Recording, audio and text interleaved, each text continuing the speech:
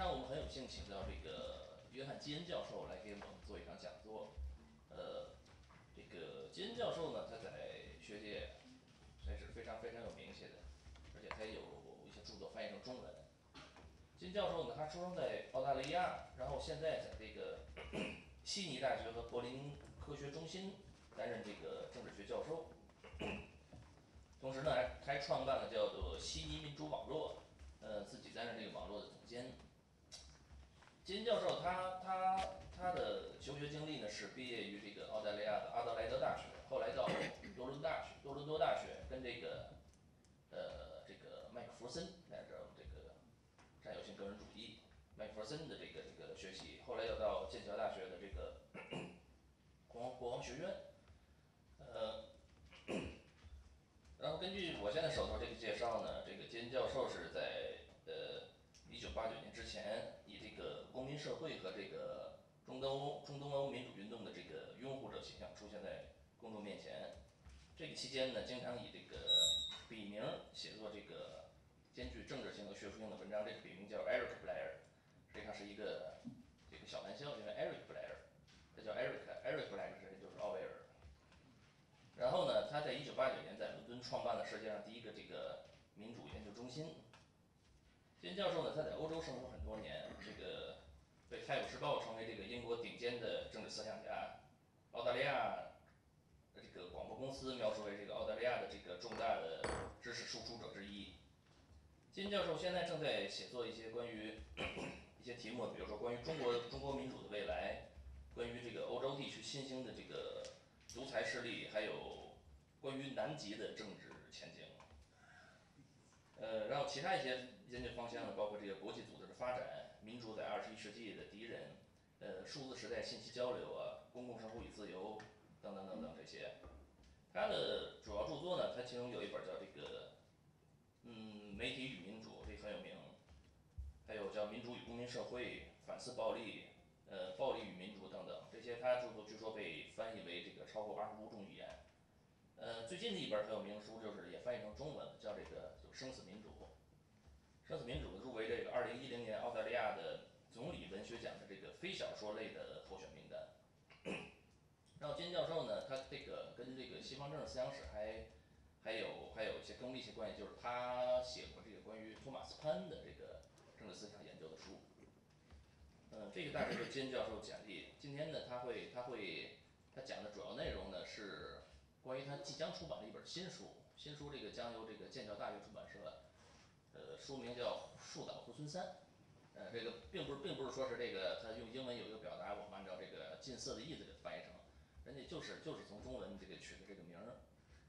然后呢这个副副标题副标题叫监督式民主的未来，这是他自己的一个一个概念。嗯这个今天然后呢金教授呃嗯今天我们大概程序是这个金教授他也给我们提供了这个 P P T，嗯。所以所以所以呢这也有助于大家理解，所以我们今天是他讲，然后他讲到一部分结束的时候呢，我简单就是把这个大意给概括性的给翻译一下，然后帮助大家理解。然后在金教授的这个讲座结束之后呢，我们还请到了这个北京大学政府管理学院的李强教授，李强教授也就不用不用多介绍了，都是学西方政治思想史的，这个这个这个谁都不知道呢，所以这个这个李强教授这个李强教授这个这待会儿会会这个给呃给基恩教授这个讲座做一个做一个评议，然后我们剩下的时间呢大家一起进行讨论互动。然后现在呢我们就请这个金教授来进行讲座。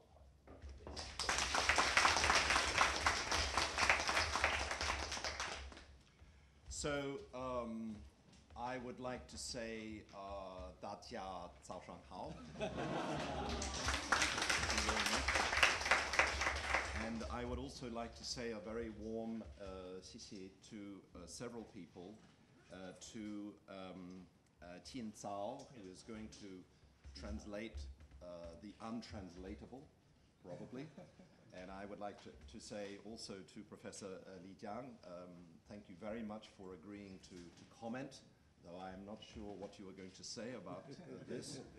and uh, I would like to say um, uh, to Tao, Tao An, a, very warm Sisini for making my visit um, pleasant and very efficient and very effective in the Chinese style. Thank you very much for, for having me here. Thank you all for, for coming. I am sorry, Weibo Chi, for my uh. It's pretty bad, uh, as people here, but um, I'm sure I'm in very good hands.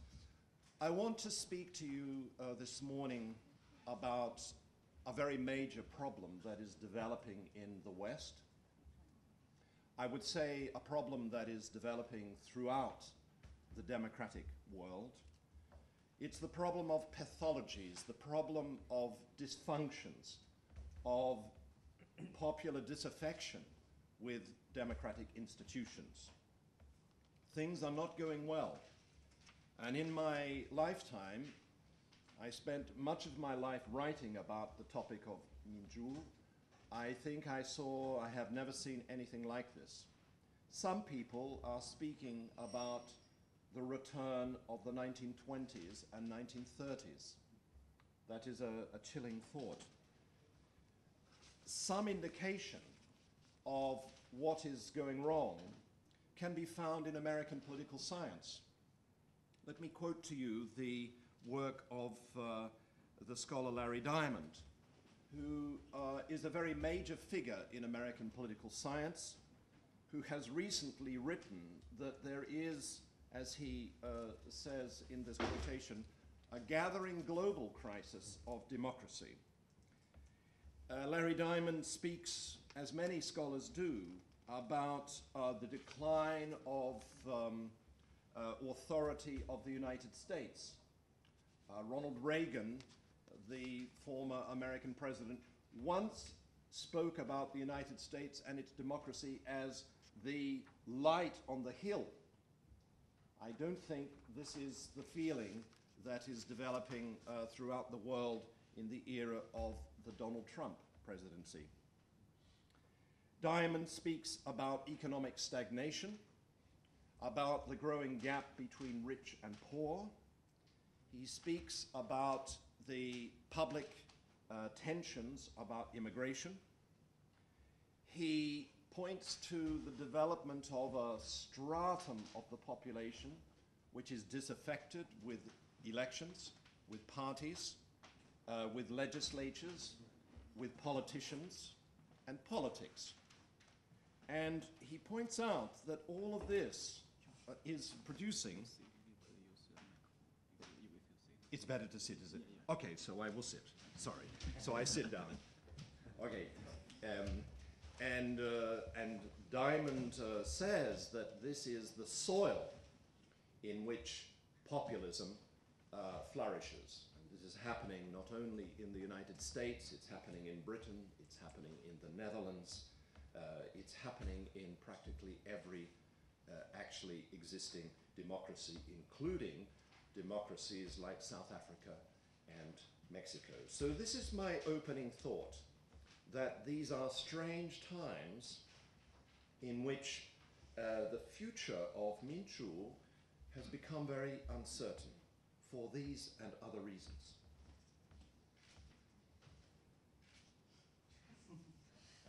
Your turn. 刚才是一个就是 比较简短的一个介绍。呃，金教授谈到现在民主呢，在全世界它遇到了一些问题，可以说是危机，一些制度上的失灵。比方说，这个这个情况呢，在这个历史上是不多见的，甚至可以说是很很罕见的。有些人甚至这个甚至把它比作就是一九二零年代到三零年代，就是那个时期来的民主非常的非常的危险的那个时代。然后呢，这个比如说引用说里根那个时代，美国人里根至少对他这个非常对这个美国民主非常有信心，认为它是一个山巅之光，这个这个非常这种模范式的。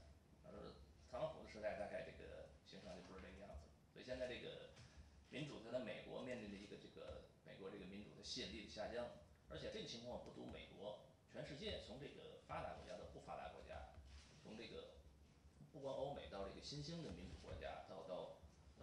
南非、墨西哥等等，都在出现这个民主的各式各样的问题。所以他今天想跟我们谈一些这个关于他对民主的未来的一些思考。 This is the context in which there are attacks on the whole idea of uh, democracy and especially Western democracy. Uh, you may know that Vladimir Putin uh, likes to uh, speak against uh, so called liberal democracy, and he says that it is time to stop lecturing Russia and Russian people about democracy because we, Russians, have a special form of democracy which he calls managed democracy. And there are Chinese uh, scholars, for example, uh, Su Changhe, who uh, is um, uh, saying that actually this crisis in uh, liberal democracy, American style liberal democracy, is a period, it presents China with a chance to, as he says, unpick democracy, to show that it is not a universal, that it, that it is a minority phenomenon. It's in this context that I have uh, just completed, actually yesterday, uh, a new book uh, which is to be published, as uh, Cao uh, has mentioned, by Cambridge uh, University Press early next year, called Humbling Power. What this book tries to do is to understand uh, this, um, these pathologies, this emerging crisis of uh, democracy globally, and to try to um, make sense of this crisis, and above all, to try to reimagine democracy, to reimagine democracy. Here, I want to mention uh, the, uh, some, some rules that this book follows, some rules for how to think about democracy. The first of them is taken from the most prominent Japanese scholar of democracy in the 20th century, Masao Maruyama. Um, according to Maruyama, uh, every existing democracy rests upon a fiction. That is, democracy is a kind of uh, xiangxiang. It's a, it, it's a kind of, it's a kind of, um, it's a kind of fiction. It's a kind of lived fiction. And in my work, I have shown or tried to show that there are three historical phases of democracy. In the ancient Greek world, there was assembly democracy, democracy of male citizens who gathered in public together as equals, and they voted to go to war, to raise taxes. Athens was the most famous example of assembly democracy. There, democracy was understood, demokratia, in terms of a fiction, in terms of an imaginary. Democracy is self-government of uh, people uh, in a small-scale setting. There was a second historical reimagining of democracy, which is usually called representative democracy. Yesterday, I understand you had a very good discussion about representation, uh, Dai Biao, and uh, Min Chu. Um, representative democracy from the end of the 18th century came to mean a much larger democracy, self-government of people through their uh, daibiao, through their representatives. The Greeks ancient Greeks had no word for uh, daibiao. They could not imagine that democracy was self-government of people through elections, through political parties within a territorial state. And I have uh, suggested in my work, as you will see in a moment, that we are living in a third period of uh, Minzhu, which I call uh, Jiandushi Minzhu, uh, monitory democracy. But the point that I wanted to make, thinking about how to think about democracy, is that every democracy rests upon a fiction and it rests upon an imaginary. This is uh, one uh, methodological rule. There is a second one. What I have tried to do in this book is to be very sensitive, like an anthropologist, to contexts. Democracy in South Africa is not the same as democracy in Canada. And paying attention to these contexts and differences is important. It is important to uh, pay attention to evidence. But what I want um, to say in this book is that all political thinking is an interpretation. It is not true. It is not a truth in some kind of timeless metaphysical way. Uh, political thinking, uh, accounts of democracy are interpretations. They are not the final word. There is also, uh, it's important uh, to pay attention to norms. Democracy is a way of life committed to certain norms, above all, the principle of equality, uh, the principle of sensitivity to power, to unaccountable power. And so, any account of the current condition of democracy and the future of democracy has to pay attention to norms. Uh, another uh, rule which I try to follow in my work and in this new book is historical awareness. Uh, it is very striking for me that political scientists are, uh, I don't know if you can translate this, are amnesiacs. I mean, they have very poor memory of things. They don't pay attention.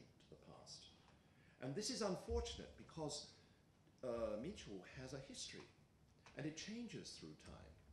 Not only that, but there is a rule which I try to uh, articulate in this book that those people who forget about the past always misunderstand the present.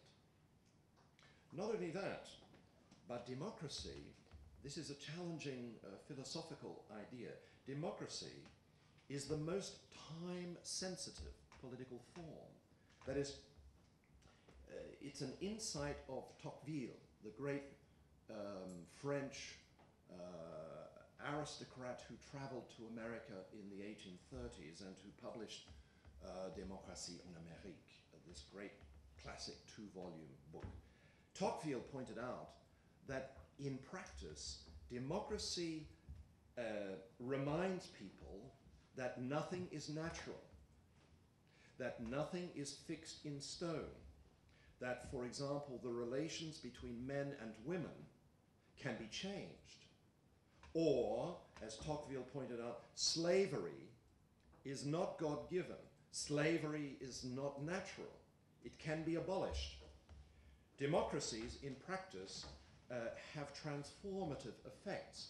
They introduce a sense of the contingency of power relations. And for this reason, uh, time, the whole topic of time and democracy is important.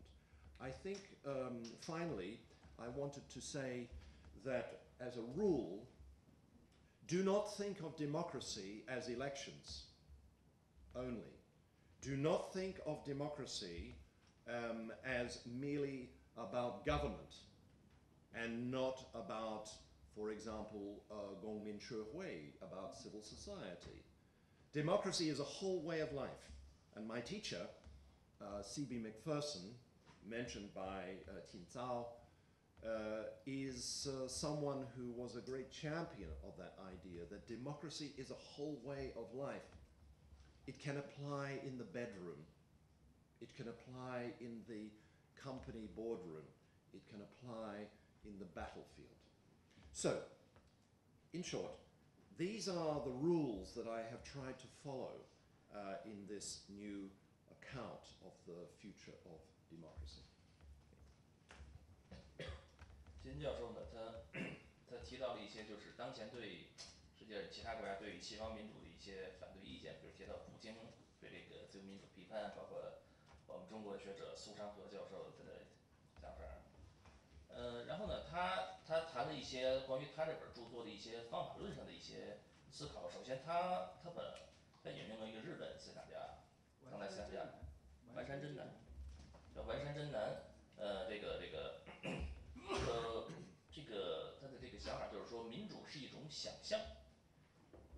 嗯，然后呢，他他这个他指出说是这个民主他想象的历史啊，经过不同的阶段，比如说一开始在古希腊，它是一种这种集会式的小共同体式的这种可以说直接民主，然后民主进入到一个这种代议制或者说代表制民主的阶段，然后他这个提出了一个下一个阶段呢，就是他所谓的 monitory democracy，呃，作为监监督式民主。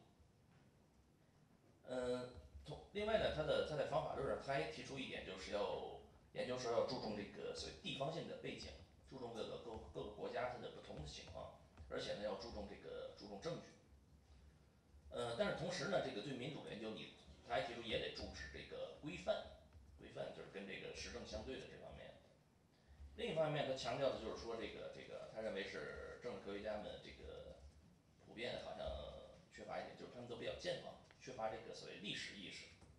他特别这个指出就是还引用托克维尔，他说民主是一个对可以说对时间最为敏感的一个政治形式，因为民主它不是一个天然的，不是一个浑然天成的东西，它是需要人为的。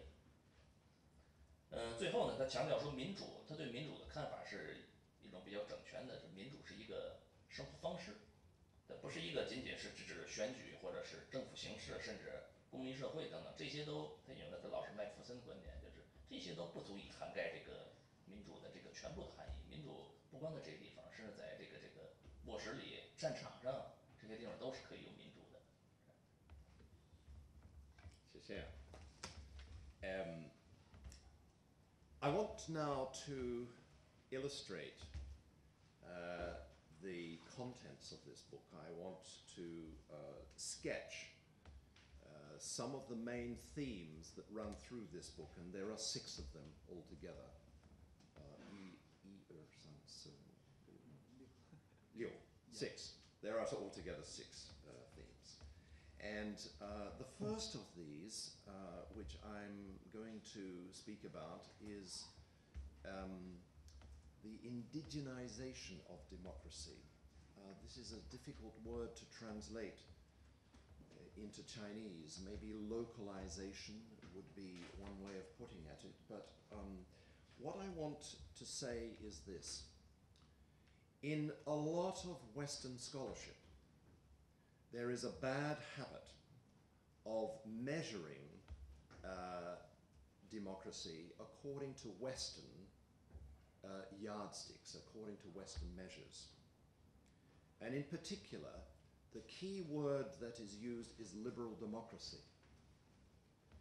Um, the American model or the British models of liberal democracy are taken by many scholars to be the, the, the norm, the measuring uh, uh, rod of democracy. You can see this, for example, in the work of the English scholar John Dunn. He's a colleague. Uh, he has tried to write a small history of the idea of democracy. What is for me very strange is that uh, this book does not address the origins of democracy before the Greek world. It has nothing to say about the world of Islam. It does not speak about Spanish America, uh, the Latin American countries, uh, and so on. It speaks nothing about Indonesia, nothing about uh, Taiwan, nothing about India. For me, this is symptomatic of the problem that there is a Western bias in the understanding of democracy. So, what I have tried to do in my work and in this new book is to pay attention to what anthropologists call indigenization. And to put it simply, what this means is that when the spirit and the language and the institutions of democracy, for example, elections, are transported to another context and where they take root like a plant in the soil, the, that soil changes the, the meaning, the dynamics of democracy. if you go to India, uh, Indian scholars of democracy will say to you, democracy transformed India, but India transformed democracy. For example, uh, Indian democracy is not a liberal democracy. This would be a misdescription of things. Um, it is a democracy, for example, in which um, there, are, uh, there are many innovations. Uh, local religious courts, um, a written constitution uh, that allows limits on the constitution, um, a caste system of social differences, um, a Gandhian idea of non-violence as a very important principle of democracy. Uh, these are just some examples of the way that India, the experience of democracy in India, had transformative effects on the meaning of democracy. Or take the case of South Africa 11 official languages. Um, the first uh, democracy in which racism uh, was abolished, where the domination of black by white minorities was considered no longer to be acceptable. Uh, South African democracy transformed the meaning of democracy to mean a, for, a way of life where racism is not acceptable. It is not uh, consistent with the principle of democracy.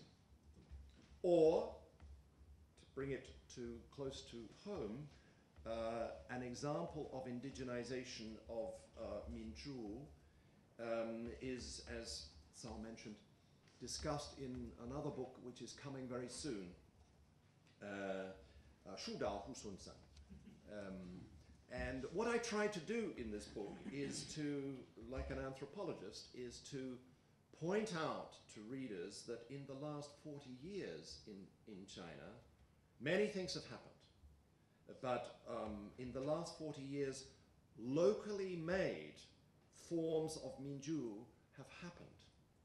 For example, that um, it is not only that uh, the party uh, always speaks about the mean and the, the importance of democracy, Minzhu, but the party also uses uh, public opinion polls. Uh, there are examples of the spread of elections beyond the village level into city context and so on. And so I speak about in this book forms of locally made democracy, democracy made in China, uh, to remind political scientists that this uh, polity of China is not straightforwardly a system of authoritarianism, as Samuel Huntington, um, the inventor of this word, insisted. For many American scholars in particular, there is a distinction between democracy, where there is, it's called liberal democracy, where there are free and fair elections, on the one side, and authoritarianism, where there is no democracy. And my idea in this book is that this empirically underestimates the, um, uh, the new things that have happened in China. I want to mention one last example, TGI. Uh, this is the Tibetan government in exile. You know that uh, Tibetans uh, living outside of Tibet have a government, and it is based in Dharamsala. And it is, there is a parliament, and there are elections. And there are elections from voters globally. So if you are Tibetan and you live in the United States, you can vote uh, for the parliament in Dharamsala. What is interesting about this experiment in democracy is that it is Buddhist. And that means that uh, there is a normative reason given by many uh, uh, Democrats in the Tibetan government in exile who say that the reason why we uh, like Minzhu is because it reminds us that power, we should not worship power. Uh, we should not worship power because we are only here as people on earth for a short time and then we will become something other. It's an entirely different understanding of uh, democracy. So, what I am here is the first theme that runs through this book this idea that uh, as thinkers of democracy, we should pay attention to the novel trends of the 21st century, that we should not um, be blinded by categories like uh, liberal democracy, which I think are very unhelpful. Pierre Rosanvallon, uh, one of the great French thinkers, says that liberal democracy is a zombie category.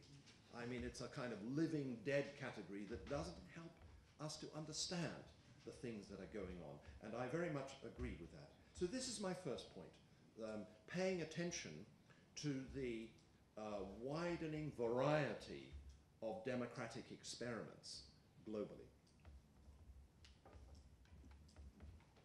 他这个，呃，金教授今天讲座大概分为六个部分，然后第一个部分呢，谈到的是一个叫 indigenization，这个可以翻译成这种地方化。呃，地方化，它这个它这个想法针对的是什么呢？针对就是现在这个西方主流的这种思想，它在评判这个其他地方的民主理论实践时候呢，往往是以这种西方的标准，或者换句话说就是以这个自由主义民主这 liberal democracy 的这种标准来衡量。然后他举的例子就是剑桥大学的这个约翰邓温教授写的写的一本关于民主书，但是里头呢对这个他认为对于非西方国家的这个实践关注的就非常之少。同时这个地方化呢，他 他举了一个例子，就好比这个植物，植物这个种下之后呢，这个这个就会被这个它它所在的土地有所转化。就说民主作为一种精神或者制度等等，它输入到一个特定的环境、特定的国家之后呢，嗯，就会就会被转化、被赋予这个新的内容。他举了一些例子，比如说印度，印度在他看来并不是一个，实际上并不是一个自由自由民主制度。印度它有自己的创新，包括南非，南非的民主实践里呢，就是融入了这种这种这种特特特意的强调了其中的这种反种族主义的因素，包括这个呃流亡的这个西藏政府，其中它有这个佛教的因素。然后他还专门提到中国，中国的这个呃，因为他对中国的这个地方上的民主实践有有些研究，然后他认为这个中国的例子就表明了这个亨廷顿式的那种这种这种民主和威权主义的这种二分法是这个太过于简化的。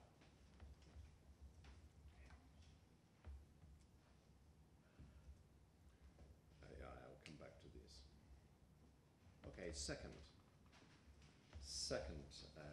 the second theme that uh, my new book covers is this um, strange uh, phenomenon for you of uh,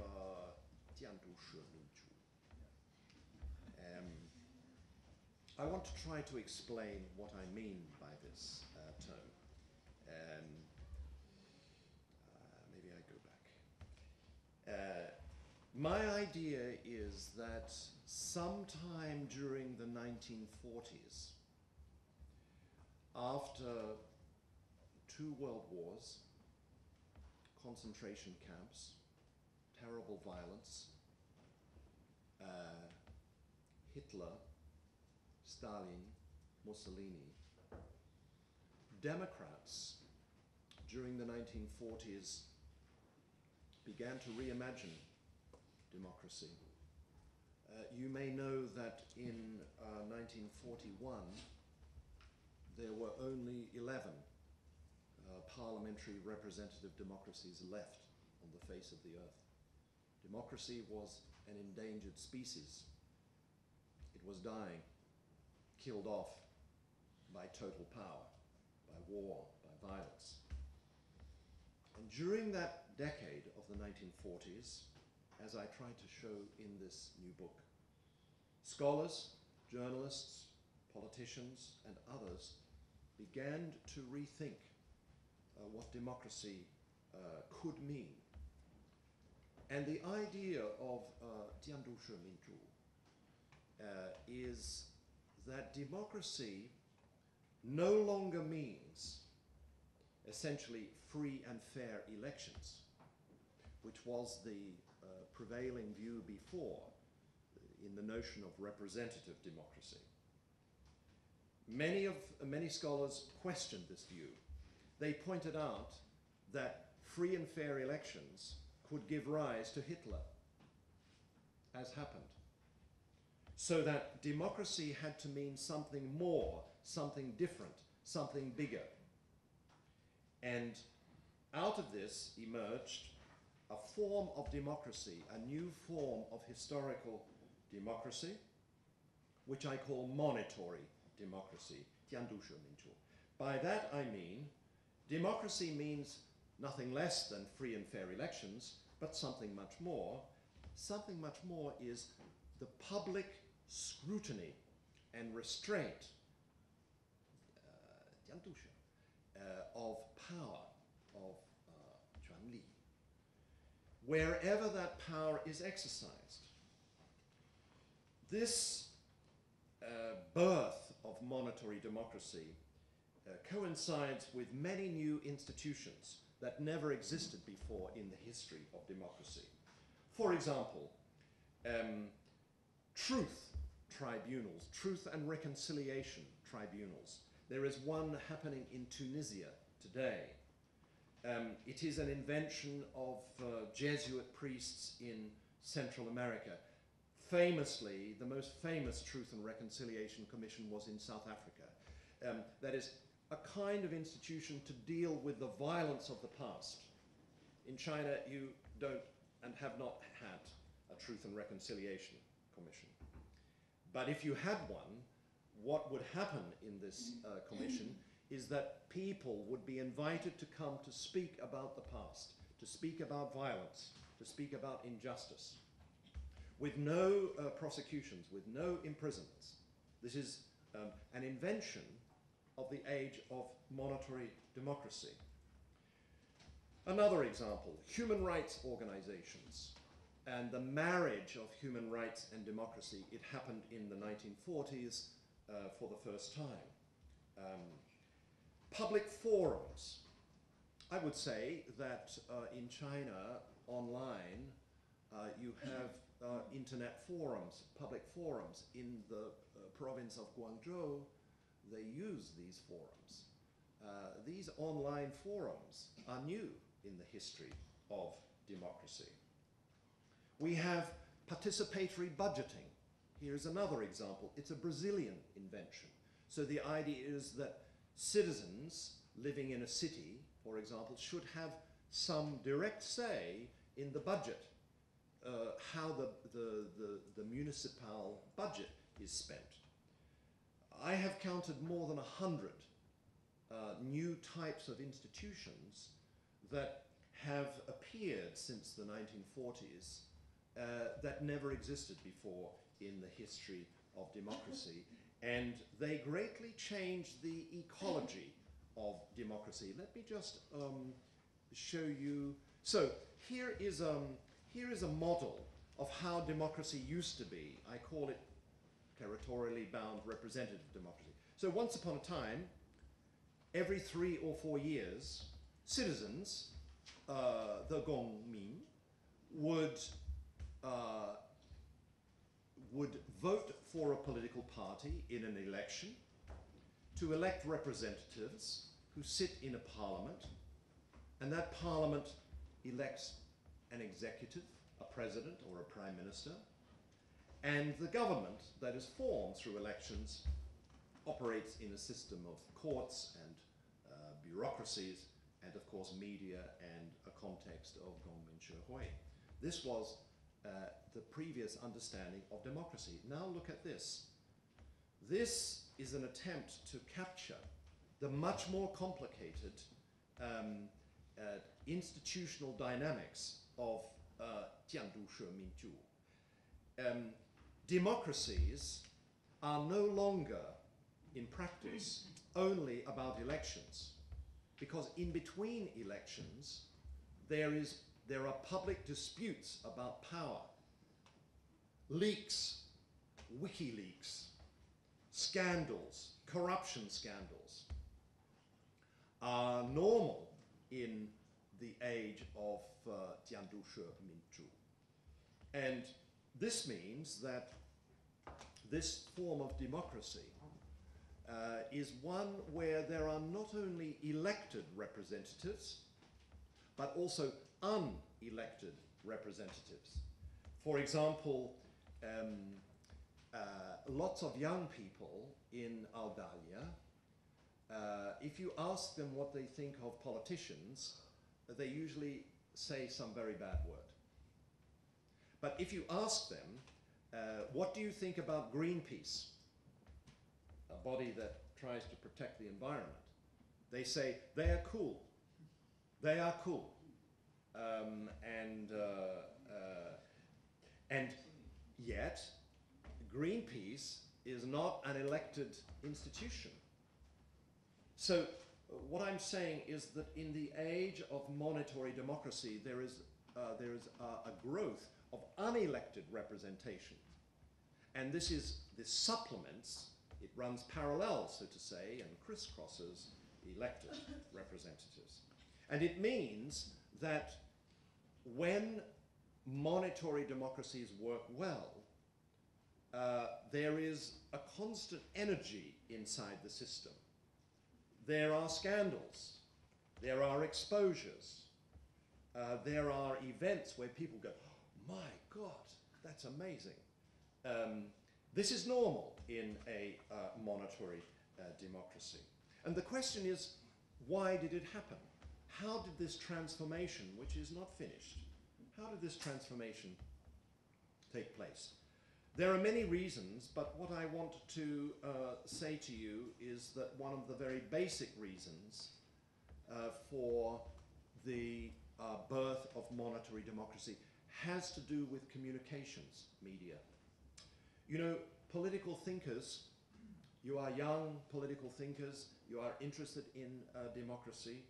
I urge you to think about the relationship between Minzhu and communications media. I don't know if you have uh, ever thought in this way, but if there are three historical phases of democracy, then my idea is that each one of these phases corresponds, it's entangled with a different mode of communications. So, in Athenian democracy, the main mode of communication is orality, speech, not the written text. There is no television, there is no radio, there is no internet. In the age of representative democracy, there is the newspaper, the printing press, the book, the novel, the letter. So the main medium of communication uh, in the age of representative democracy is the, writ- is the written, the printed word. I would say that what is uh, happening uh, in actually existing democracies is that the transformation, the growth of uh, Jiandu Minzhu is bound up with the digital communications revolution. And this image, uh, if you read it from left to right, um, on the left is centralized network, centralized distribution of information. For example, state radio or state television. The kind of electronic mass media that developed in the 1920s and 30s and 40s. On the right um, is what are called distributed networks. That is, the internet has the structure, it has the form of uh, the image on the right. This means, to, if you have not seen the connection, that the public monitoring of power, the public restraint of power, which is central to this age of monitory democracy, is one that feeds upon this digital networked, unfinished communications revolution. Uh, Greenpeace, Amnesty, Human Rights Watch, uh, all of these monitory institutions uh, could not function unless they had access to the internet.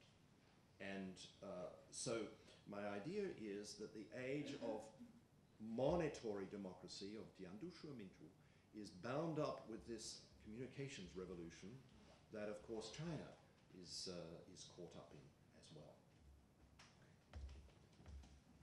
嗯，它第二个部分呢，介绍一下他所说的这种 monitory democracy，他说的监督式民主的这个概念，以及 它跟现在这种数字交往革命的这个这个关系。他指出呢，这个呃新的这种民主的关键是呢，这个民主它不只是指这种自由和公平的选举，这个选举也可能选出来希特勒。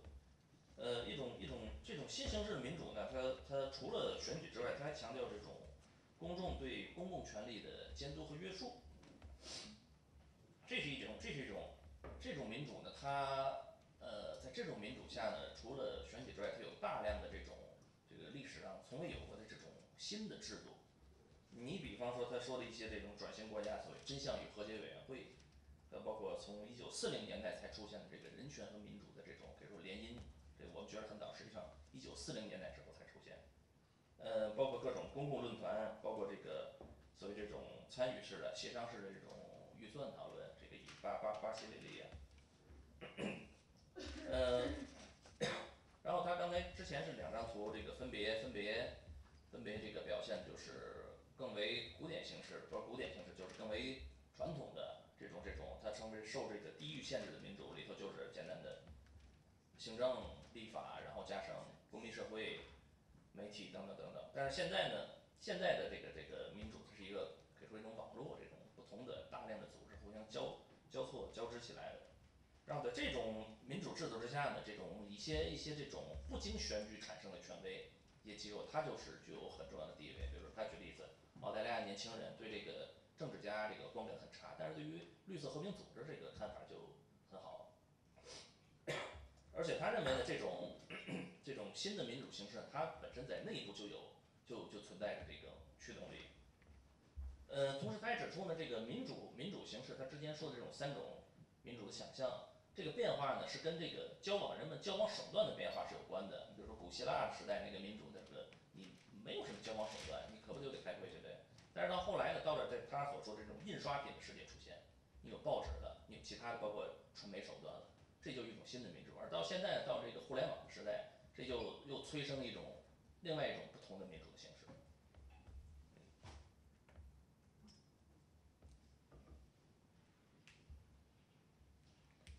Okay. Uh, point number san, three. Uh, you may know that in um, the Atlantic region, in many so-called Western democracies, the old subject of capitalism and democracy is back. In my judgment, the best discussion that is happening is in Germany uh, where scholars like Wolfgang Streeck and Claus Offe, Wolfgang Merkel, uh, and others have pointed out that capitalism and democracy uh, have a very difficult relationship. Why is this? You will know that the Atlantic region the whole of the European Union, uh, the United States, Japan, and other uh, democracies are experiencing a period of very slow growth, of stagnation. One of the reasons why the great book of Thomas Piketty, I think it's translated into Chinese, uh, one of the reasons why this has been a bestseller is because it points out that the norm in the history of modern capitalism is growth of no more than 1 or 1.5%. China is exceptional. And whether China can continue to grow at 6% or 5% or 4% is not clear. What Piketty points out is that uh, the exceptional period in the history of modern capitalism was the period roughly from 1950 to 1975. It was the period when I was young. It was the period of the so called Keynesian welfare state. It was the period where state intervention in markets, state intervention into capitalist markets, um, involved redistribution. It involved building uh, new institutions like uh, the National Health Service in the United Kingdom or education, free education at university level for all. It meant nationalization of railways. It meant the development of public infrastructure services. That period is now finishing. And as Thomas Piketty points out, one of the consequences of the last 35 years of, uh, of deregulation, of marketization, of so called neoliberalism, one of the effects has been to increase the gap between rich and poor very substantially. Uh, in the United Kingdom, one third of the population is now living at, beneath the poverty line. One third. For children, the figure is around 40% of children under the age of 18 are living in poverty. What kind of democracy is this which allows the gap between rich and poor to grow? As Piketty points out, and I try to say in this new book, this is not sustainable. Because, uh, for several reasons, because the norm of democracy, the belief that people are equal, that nobody is good enough to rule others on earth because they are not God or a goddess, that uh, equality principle is violated by this empirical trend, this growing gap between rich and poor. And it is one of the reasons why populism is flourishing, because the populists say, look at this system. Some of you are losing. Some of you are poorer. Your children will, not be better, will not live as well as you in the future. Something has to change. And this was the, the language of Trump, it's the language of uh, Brexit, it's the language of Geert Wilders in, uh, in the Netherlands. This is one reason why uh, this problem of inequality uh, is a problem for democracy, for normative reasons. But there is also the point that sociologists uh, tell us that when a society becomes unequal in this way, even the rich, even rich people are affected, affected negatively. Uh, why? Because when you have growing numbers of poor people, when you have uh, a shrinking middle class, when you have uh, a growing gap between rich and poor, then levels of health, uh, levels of, um, of bad teeth, of bad health, uh, of levels of crime, uh, the, the, the number of people in prison grows. This is a sociological fact. And this is costly. And this costs even the rich. And so, according to uh, this uh, way of thinking, I try to develop this in my book, uh, inequality has damaging effects on Gongmin Shehui. It damages civil society, and it is bad for democracy. But there is another reason why um, unregulated capitalism uh, is not friendly towards democracy, and it is uh, for this uh, reason. Many economists remind us that uh, an unregulated market has a tendency to crisis. In particular, there is the problem of bubbles, uh, what economists call bubbles.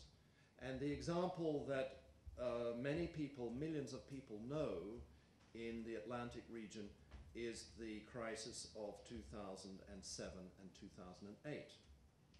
What is the cause of the crisis? Mainly that banks and credit institutions began to speculate. This is what capitalism is. As John Maynard Keynes said, um, capitalism is a system of animal spirits, uh, taking risks, wanting to make more money. The trouble is that sometimes there's a kind of crazy uh, feature of this uh, risk taking and money making, and what happens is a bubble develops. And this is exactly what happened uh, by the years 2007 and 8. And in those years, as you know, uh, some banks collapsed, Lehman Brothers, uh, the bank, I was still living in the United Kingdom, the Royal Bank of Scotland, uh, nearly collapsed. And the system was rescued by state intervention, but at a very great cost to taxpayers, at a very great cost to the population. And what is, uh, as I say in this book, what is um, worrying in this problem of bubbles is that there is a, a great, um, there was a great German-American historian named Charles Kindleberger. He wrote a history of bubbles.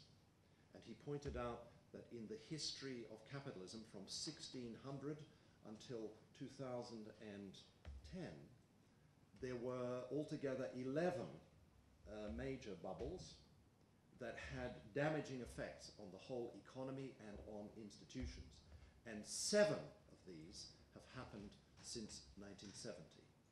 And the, the one in 2007 and 8 is the last one.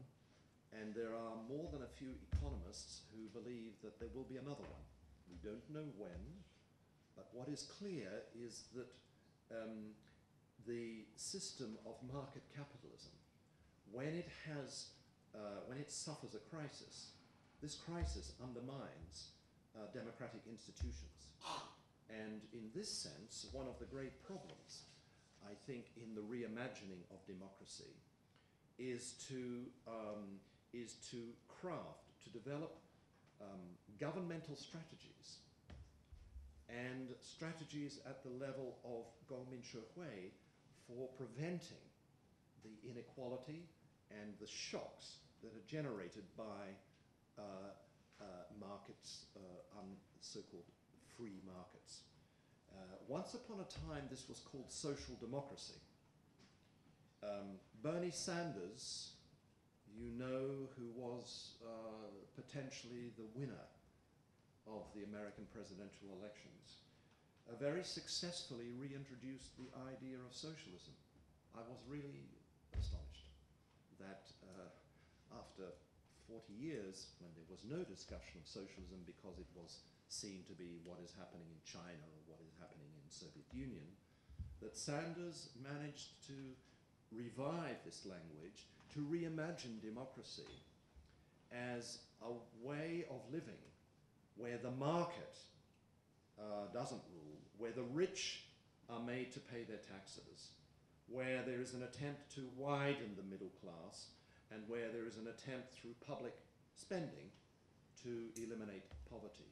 This is, um, this is a very great uh, development of our times, and it is uh, the third thing I wanted to say to you. 他想谈第三点呢，是关于关于资本主义和民主关系。这个话题呢，在这个最近几十年来有所复兴。呃，这个这个其中一个很重要的关系呢，除了两者间这个固有的这种紧张关系，就是因为近年来的这个西方国家在这个经济增长上的一些经济增长乏力一些问题。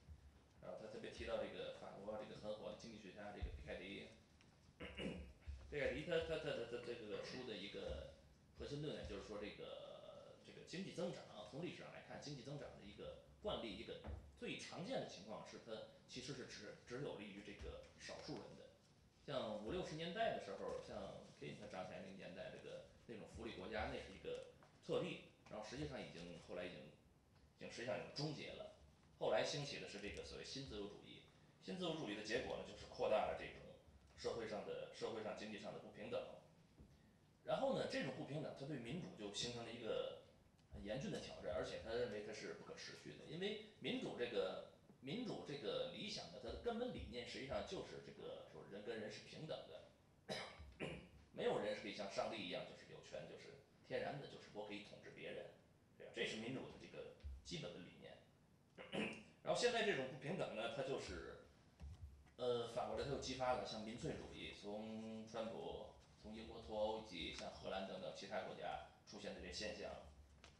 嗯，然后这个 Keynes 他指出一点，就是说这种这种日趋扩大不平等呢，实际上它是对富人也是有害的，因为它会这个损害公民社会，然后在各个方面的这个各个方面加大社会成本。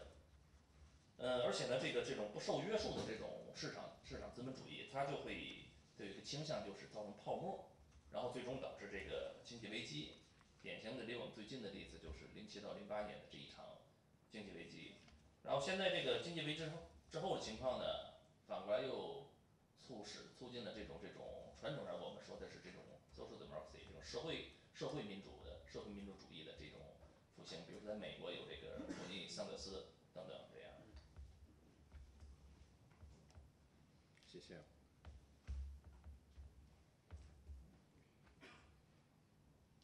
I want to say just um, a few words uh, about. Uh, actually, I'm going to go to number number four. Um, I want to say a few words about the problem of territory.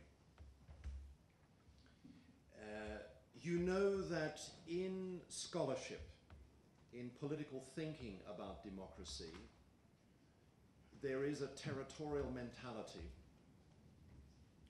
That is, democracy is imagined as operating inside territorial state borders.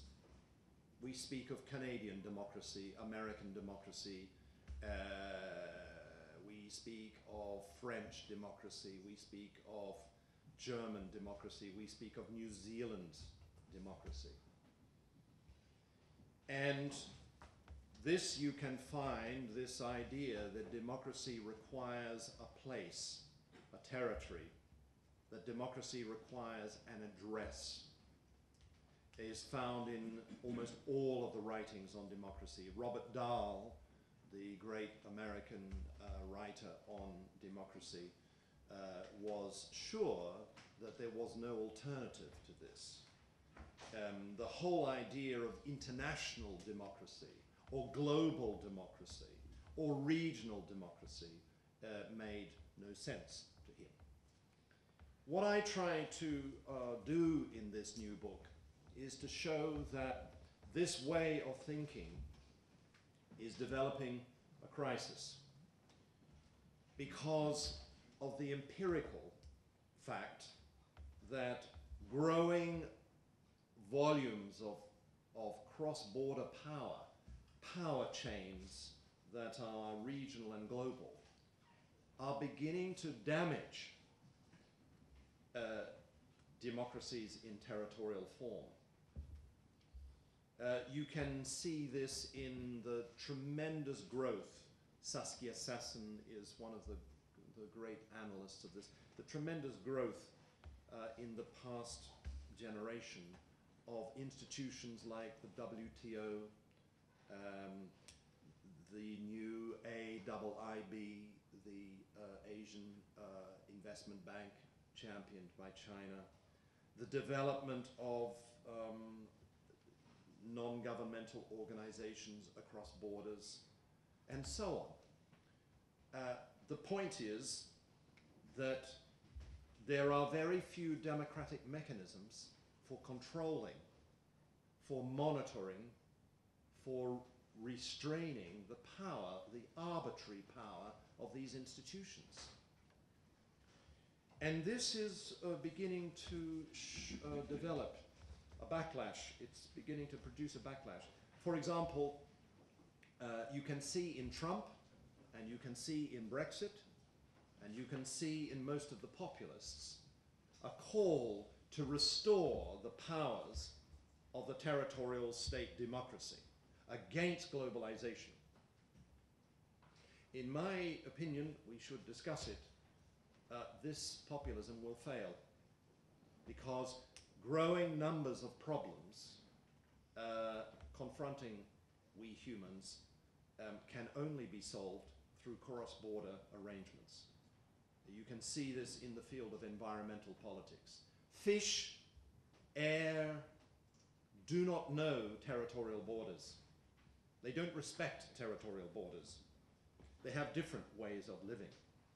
And when their populations or their health is damaged or endangered, solutions have to be found across borders. Uh, this, um, this dynamic is unfinished. This dynamic is one that uh, raises the very big question of whether democracy, Minzhu, could be imagined uh, across borders. Could we think of democracy in much more complex ways?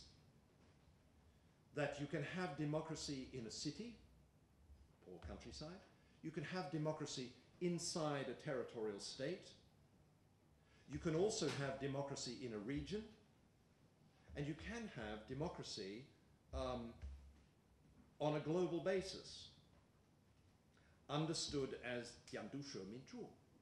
That is, forms of public restraint of power, institutionalized forms of restraint of power, from the city all the way through to global uh, institutions.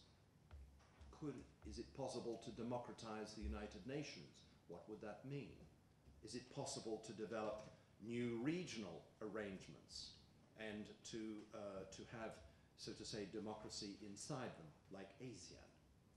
These are, I think, one of, um, this is a, a very great question, and what I try to do in this book is to say that we need a new language for thinking, for rethinking, for reimagining democracy. And this is um, the part of the book that will be strangest to you. I hope it will come in Chinese.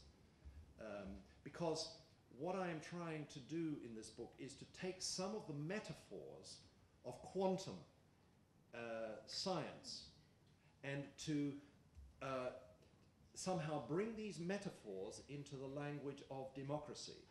I don't know if you are aware, but one of the features of quantum thinking about the world is the emphasis on action at a distance. That means that um, at one point on the Earth, uh, something can happen that has effects at long distance elsewhere on the planet. Uh, this is called the principle of non-locality. And quantum thinking also emphasizes the entanglement of things. Uh, it emphasizes, for example, the way that the American democracy is entangled with the whole world. You know, billions of people are watching Trump through their internet, through their radio, and through their television. They have no vote. Um, they didn't vote for Trump, but they pay attention to what is going on in the United States. And this is an example of the way that the whole mentality of democracy uh, needs to rethink the question of time and space. Uh, so the quantum metaphors here that I have in mind, um, it seems to me are of great relevance for rethinking democracy.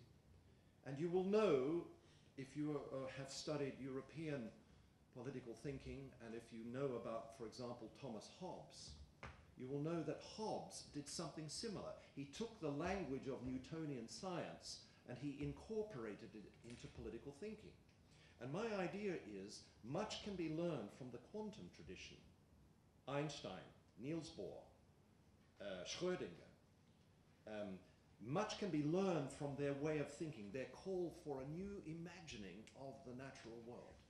And this is, uh, uh, so, so the idea of Jiandushi Minzhu is not um, an idea of democracy confined to territorial states. It is, it is a form of democracy that can operate uh, in very small locales, but also at very uh, great distances.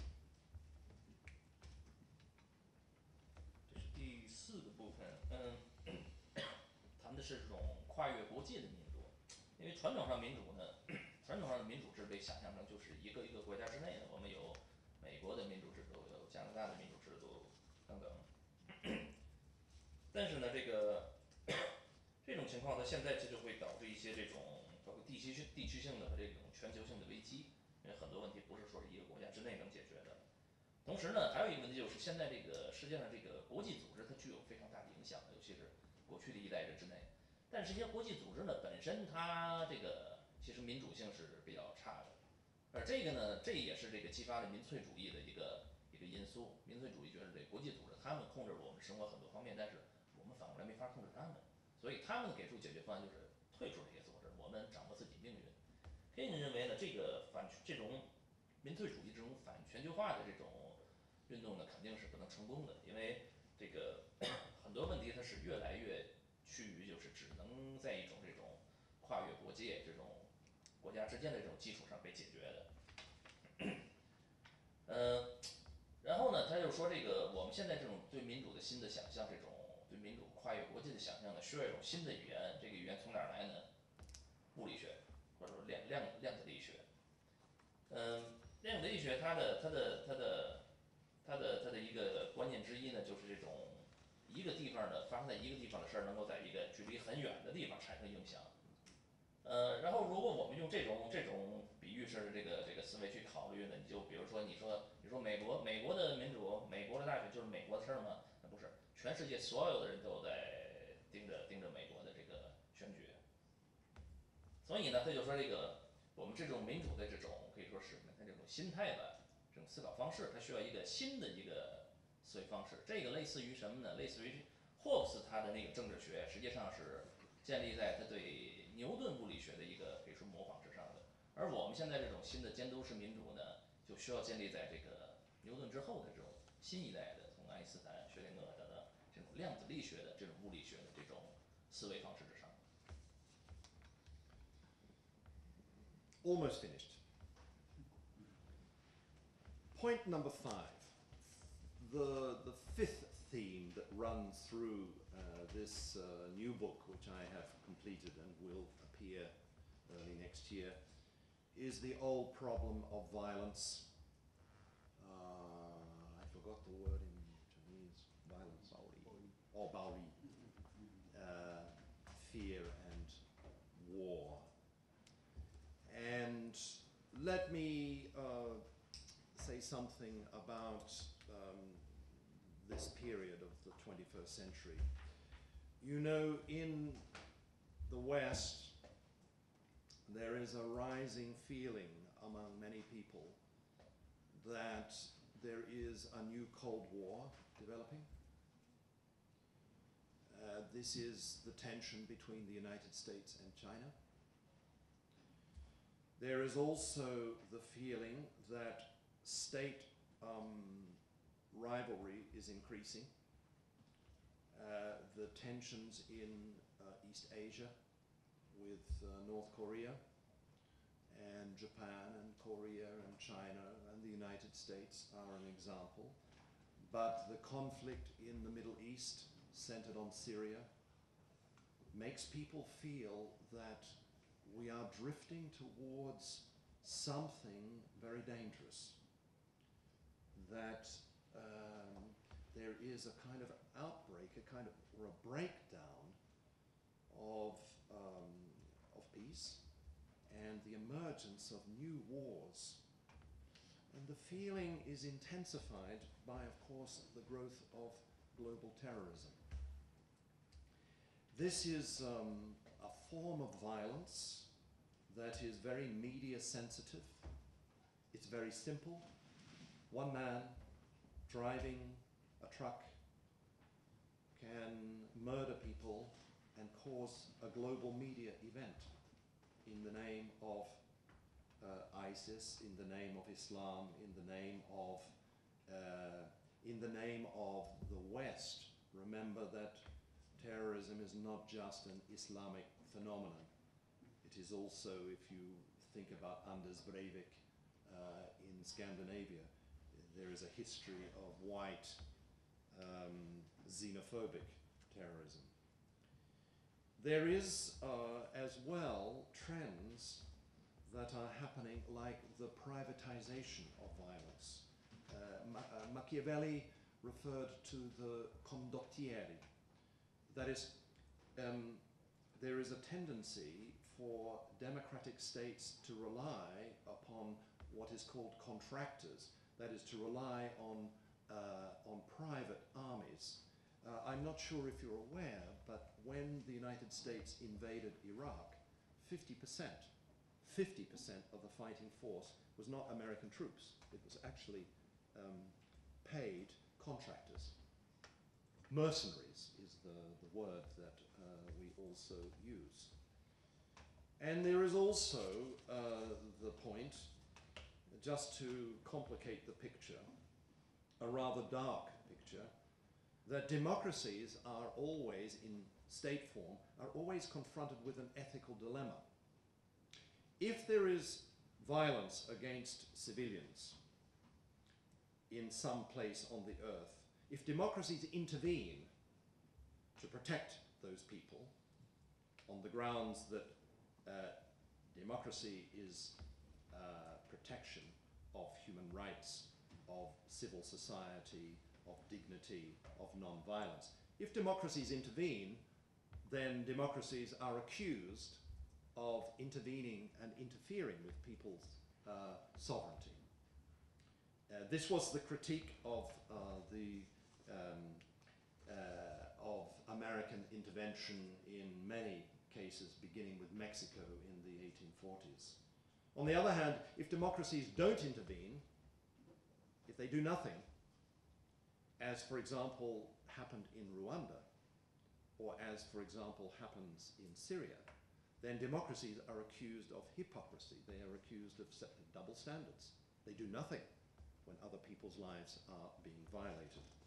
So, for all of these reasons, um, and the development of new forms of military technology, drones, for all of these reasons, actually existing monitory democracies are now caught up in uh, dynamics of violence and war. I'm not sure what will be the outcome, but there is one point that I try to write about in my work that is very clear that in the history of democracy, war and violence are the great enemies of Minzhu. Why? Because when governments go to war or when they are confronted with acts of violence, they tend to increase the power of their militaries and their police. They increase the powers of surveillance. And none of this is good for democracy as openness, as public scrutiny of power. In fact, uh, democracies come to transform, to be transformed into what Harold Lasswell, the American political scientist, a long time ago called garrison states. This is, I think, one of the dark uh, trends confronting uh, all actually existing uh, monitory democracies. And there is one other uh, trend that, uh, under this heading, that I want to mention, and it is the question of empire and democracy. Political thinkers who are interested in democracy usually don't pay attention to empire. In the history of democracy, there have been three empires, three democratic empires. The first was Athens. It became a great power uh, in the Greek world. It became the dominant power. As you know, Athens was defeated militarily by Alexandria, uh, uh, Alexander the Great. The second, the second democratic empire was the French Revolutionary experiment. Uh, in the name of the people, le peuple, in the name of the droit de l'homme et du citoyen, in the name of uh, the rights of uh, humans and the citizen, French troops marched into parts of Europe, into the Low Countries, what is today Belgium and Liechtenstein and so on. They marched into Italy. They marched into Spain. They marched all the way to Russia in the name of democracy. And as you know, that ended badly. That attempt to build a democratic empire was defeated militarily. Third democratic empire, uh, it is the first ever global empire, is the United States. I'm not anti American, but I can tell you that this democracy, already during the 19th century, began to develop as a global empire. It is an empire that spends around 50% of uh, military spending. I mean, 50% of military spending globally is, uh, is spent by the United States. It has the largest army, it has the most technologically sophisticated uh, uh, war machine of any actually existing democracy. I don't know uh, what will happen to this um, uh, democracy, but the signs are, I think, beginning to grow that uh, this empire is in decline. It has not won any war since Korea. It lost in Vietnam, it lost in, not only lost in Iraq and Afghanistan, but it actually spread violence as a consequence of its military action. There were many times in the history of the United States where it intervened in the name of democracy. In Mexico in 1840s, uh, it took one third of Mexico. It just simply took one third of the territory. It intervened in the Philippines, uh, 1900. It has intervened many times in the name of uh, democracy, with an American accent. And uh, this has brought a lot of uh, controversy, global controversy, about this American empire. For reasons that we probably should discuss, the question is whether this um, democratic empire is in decline. And if it is in decline, who will protect democracy? Who will protect uh, Jiandushi uh, on a global basis? I think it's one of the questions that um, are part of the challenge for democratic thinking. I think uh, the reimagining of democracy has to have some answers to, that, to those questions. 下面一个第五个方面呢是这个关于战争和暴力与民族的关系。就是现在现在这个全球有一些人呢在担忧这个，比如说中国和美国之间可能形成新的冷战，然后这个在东亚、中东出现很多这种暴力的冲突，国家之间的包括还没有形成暴力的国家之间的这些对抗。有人有人就担忧这个这可能走向是将来走向一个比较危险的境地，包括包括这个这个这个这个恐怖主义等等。嗯，然后他谈到一个很有意思，就是民主国家，他引用马基雅维利说，民主国家它倾向于什么呢？使用雇佣雇佣军。然后这个现在这个，比如说在美国，在这个伊拉克的战争行动中呢，它就实际上有相当比例的军队属于基本可以说私人军队。嗯，然后他认为在这种情况下呢，这个监督式民主，它就它就它就需要需要发挥作用，因为这个战争本身它对民主是很危险的，因为战争战争天然就会让政府的权力有所扩大，从而会这个损损害民主。然后他说的另一个主题就是这个帝国与民主，他说历史上历史上呢有三大民主帝国，第一个呢就是雅典帝国，第二个呢是法国革命所催生出来的这种以这个人民主权这种理想。然后去这个去这个，呃，进入其他国家，然后第三第三个帝国呢，就是这个当代的这个美美国。但是现在美国呢，它它这个这种全球性实力处在一个衰落的这种这么一个过程中，所以他说就有一个问题，就是将来这个假如这种监督性民主它在全球能实现的话，这种民主全球性的监督性民主，这个由谁来保护它呢？这是一个问题。finally, I, I'm sorry for this very long speech. It's like a speech from Fidel Castro. Uh, Due Bucci. Uh, finally, I want to say something. Oh, I had to show you this. This is uh, this is this is a very sarcastic uh, image. Democracy coming soon to a neighborhood. Uh, these, by the way, I meant to show these. These are scenes from Schanzenviertel. This is from Hamburg, uh, just 10 days ago. I mean, this is, this is a gathering of the G20, and uh, the whole city of Hamburg was, it became kind of military camp. I mean, this is very bad for, for democracy. I want to um, uh, say, finally, six some things about the, the big normative question. As, polit- as young political thinkers uh, interested in Minzhu, you should be interested in the question of the simple question that, for example, your mother or your grandfather will ask you. what, what is so good about Minzhu? What, why should we respect Minzhu? Surely there are other ways of handling power, of exercising power. Why do we need Minzhu? This question uh, I, has a long history.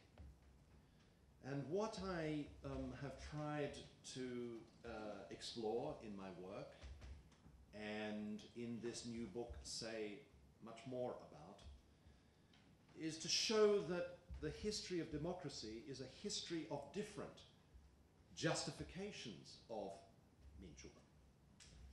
And what is strange is that most of these justifications of democracy are today uh, no longer meaningful. And what is also strange is that these justifications of democracy rest upon what could be called a metaphysics. That is, they rest upon first principles, philosophically speaking. They refer to God or to nation uh, or to history. Let me illustrate.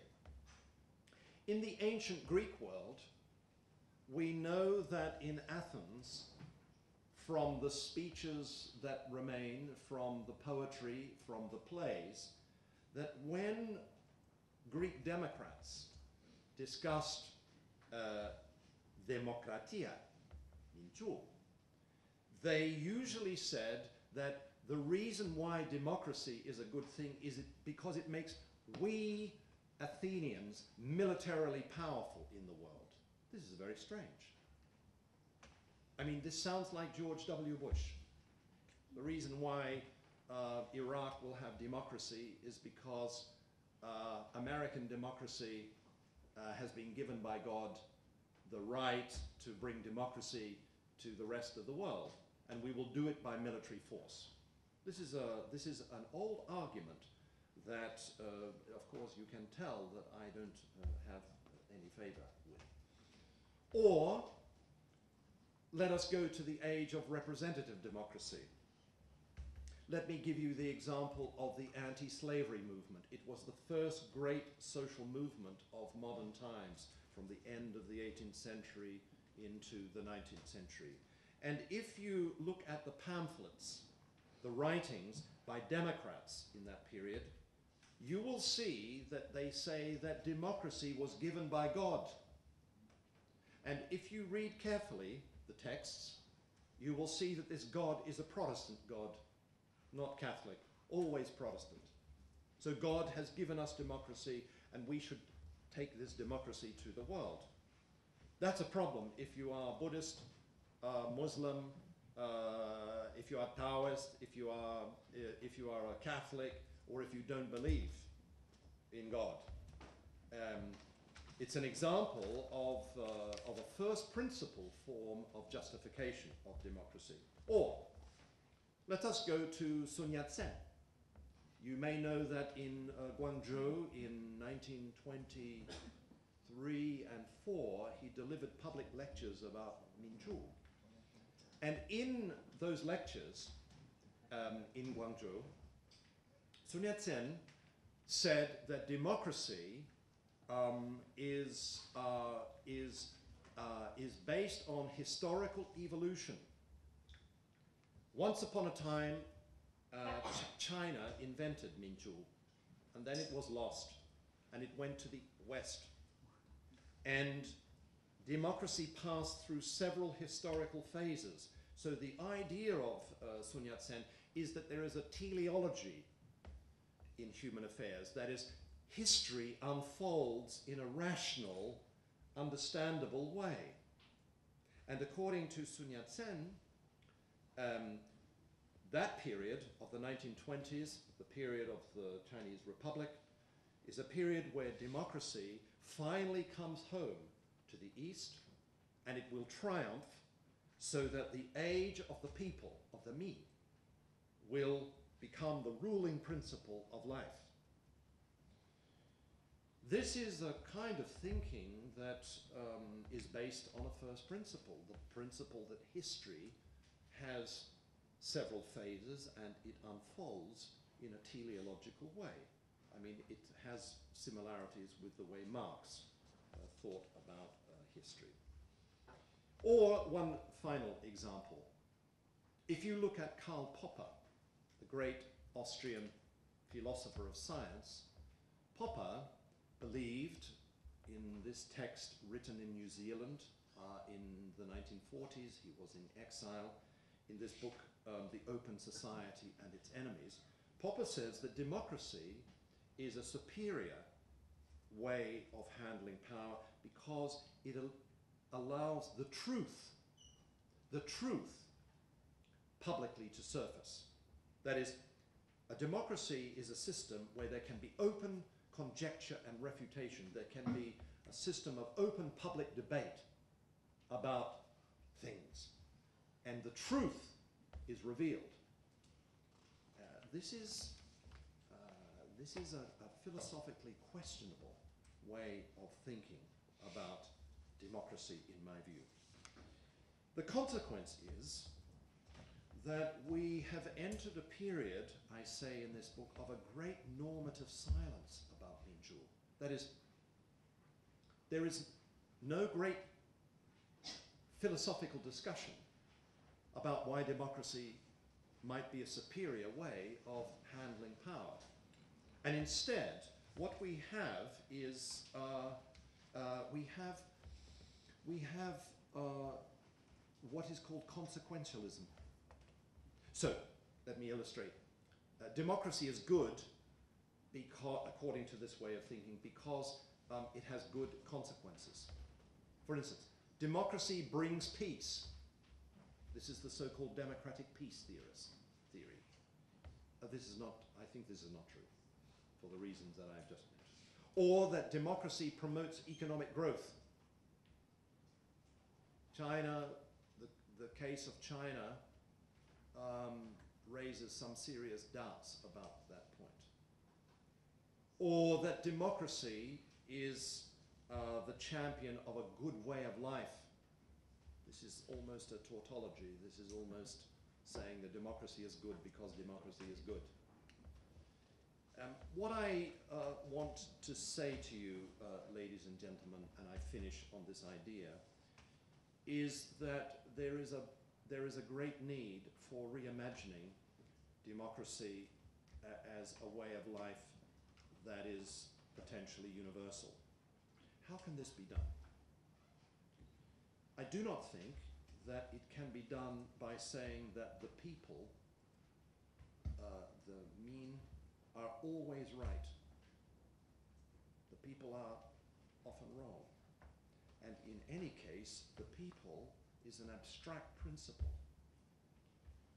What uh, I have tried to show in my work is that in the history of democracy, the people principle has been deconstructed. So, in the age of assembly democracy, uh, Greeks thought about the people as real flesh and blood people. You could see them in an assembly like this. Here you are. You are the people. the age of representative democracy democratized the people principle. By this I mean that uh, by introducing the idea of representation, the uh, meaning of democracy was changed. Democracy is um, periodic election by people of representatives. And the reason why we have elections, why there is representation, is because the people are not agreed about everything. So the idea is that in that historical phase, in the second phase, the people comes to be seen as divided. And I think that in the age of Jiandu Minzhu, democracy means that there are people who are entitled to govern themselves as equals, but those people are black, white, they are Chinese, they are Hindu, they are Muslim, they are gay, they are straight, they are disabled.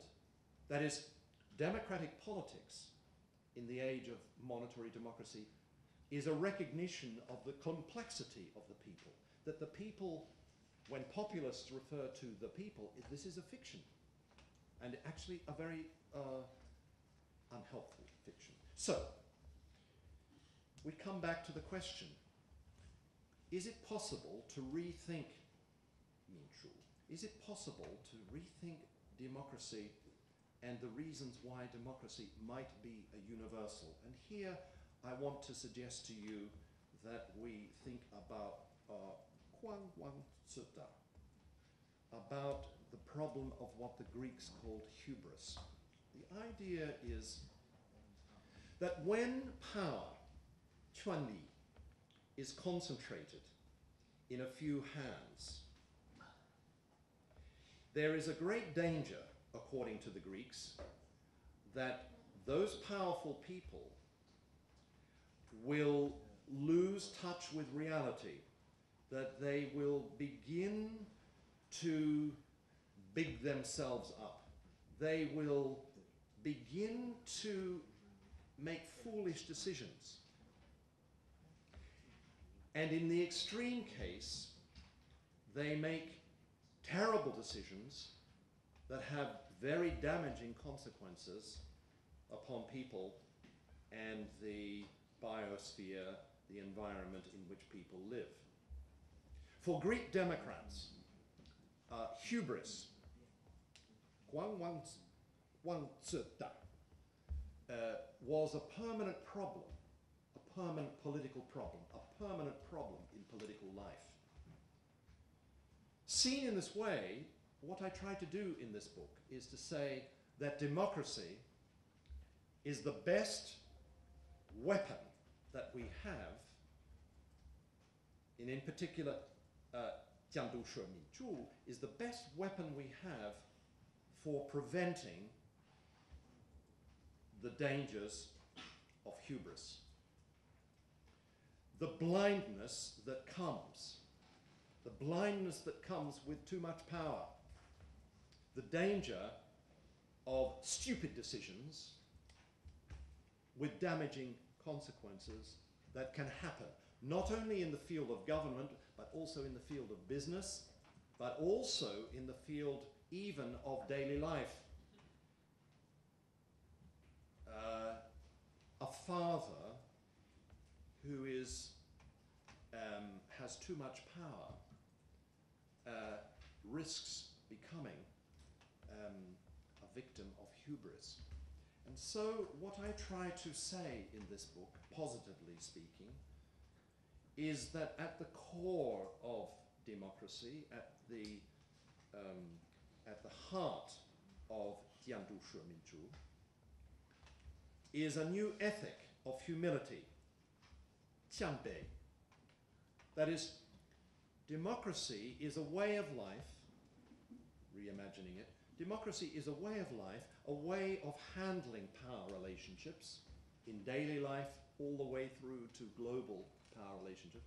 It's a way of handling power that is attached, that defends an ethic of humility, of qianbei. It does so because people are equals or can become more equal, it does so because of the dangers of hubris. Monopolies of power are dangerous for human beings. They are dangerous for the environment in which we human beings live. And in this sense, uh, democracy as a principle, notice, is not a metaphysical principle. It is not a principle based upon first principles.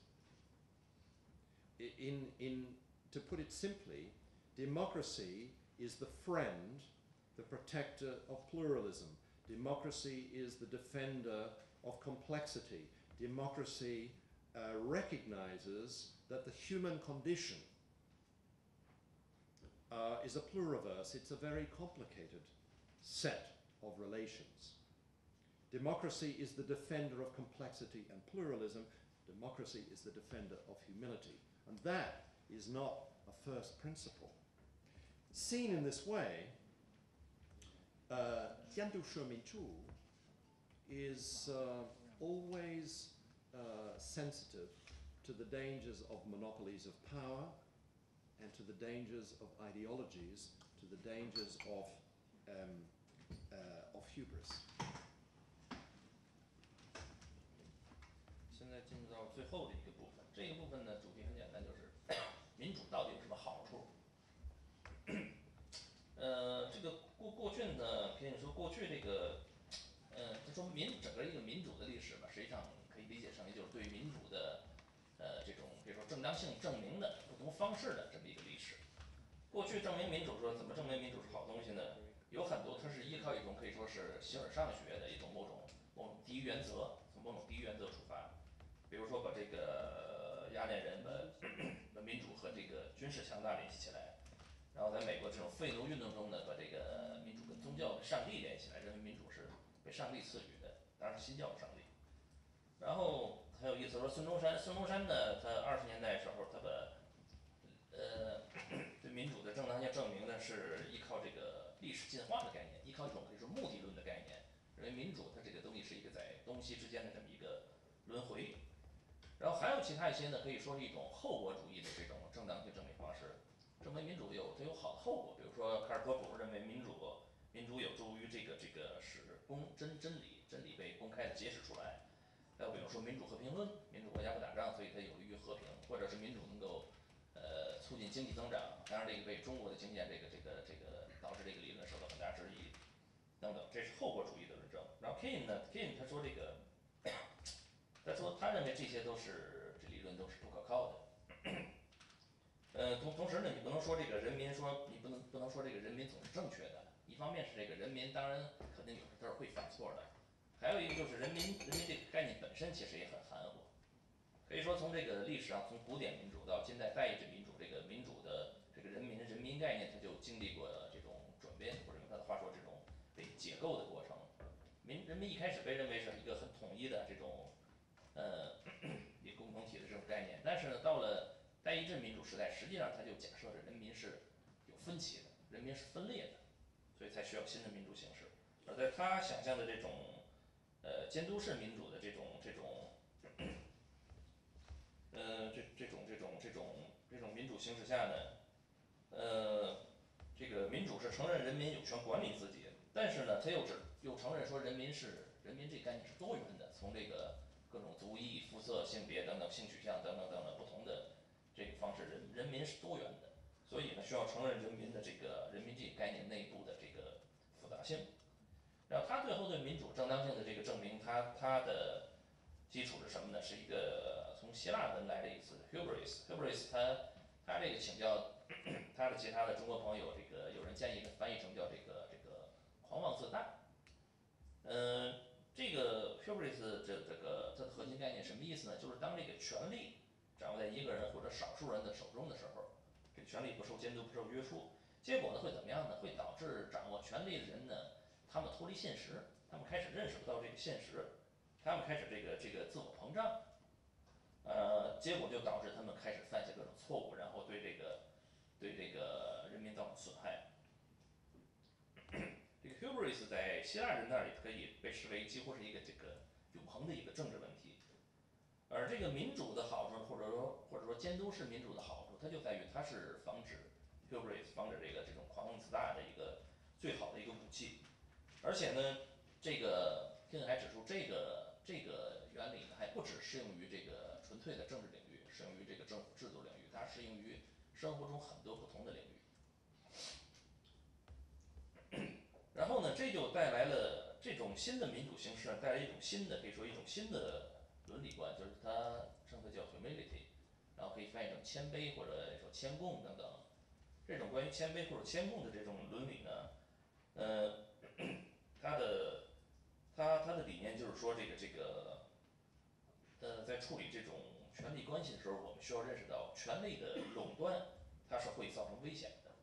它会对人类包括人类居住在其中的这种环境造成危险。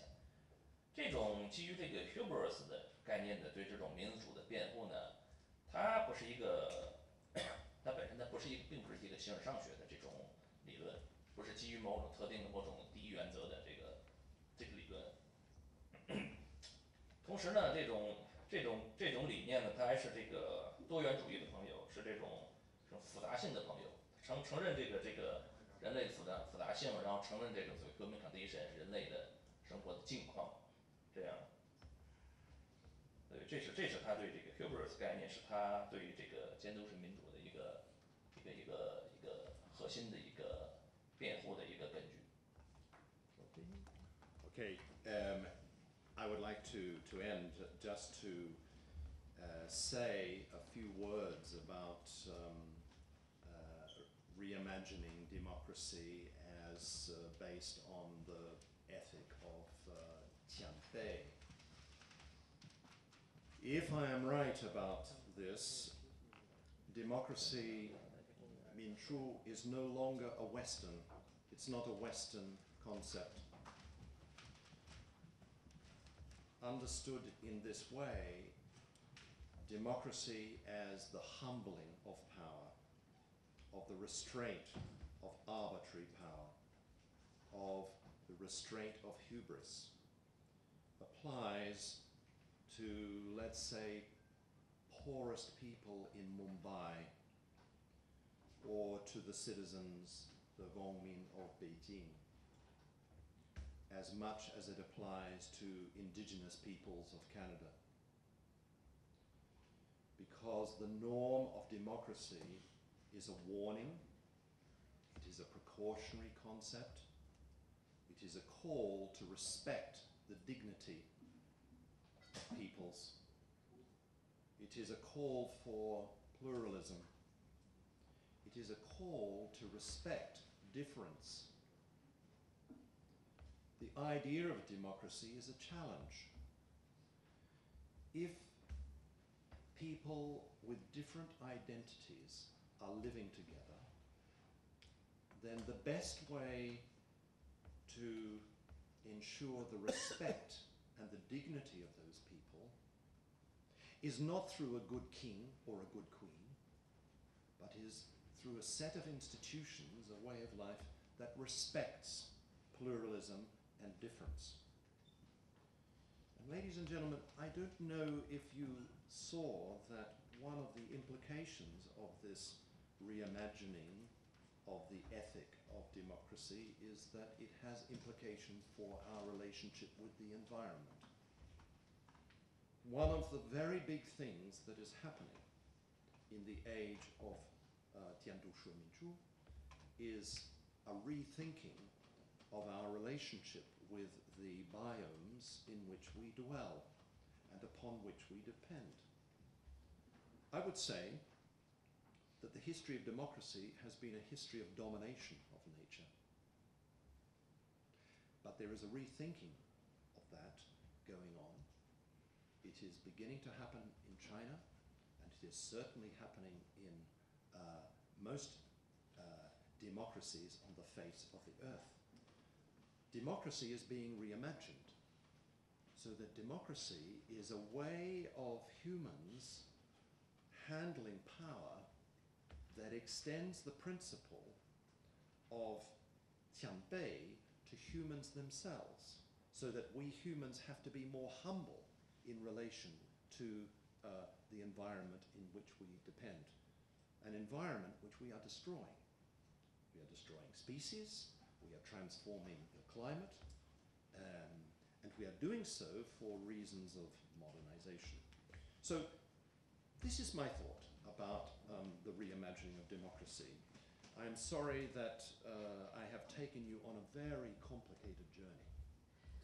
Um, I could have spoken about just one of these, but I decided that I would present you with a whole big picture because I think that as young scholars of political thought, as young scholars who are interested in Minzhu, it is these kinds of issues that are now becoming important and will continue to be important in uh, the years uh, to come. If democracy has a future, then it will have to deal with these six problems. It will have to rethink. It will have to reimagine itself. Um, even, I have uh, tried to say recently that democracy will have to dream of itself again. Uh, this is a wild thought, but uh, the idea is that democracy, before in its history, reimagined itself, and I think we are living in times where that reimagining is again uh, necessary.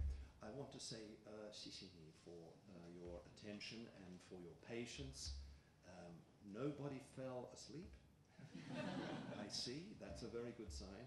And I am looking forward, after we have a break, uh, to uh, Professor Li's uh, comments. I'm a little bit afraid of what he will say. and to your uh, questions.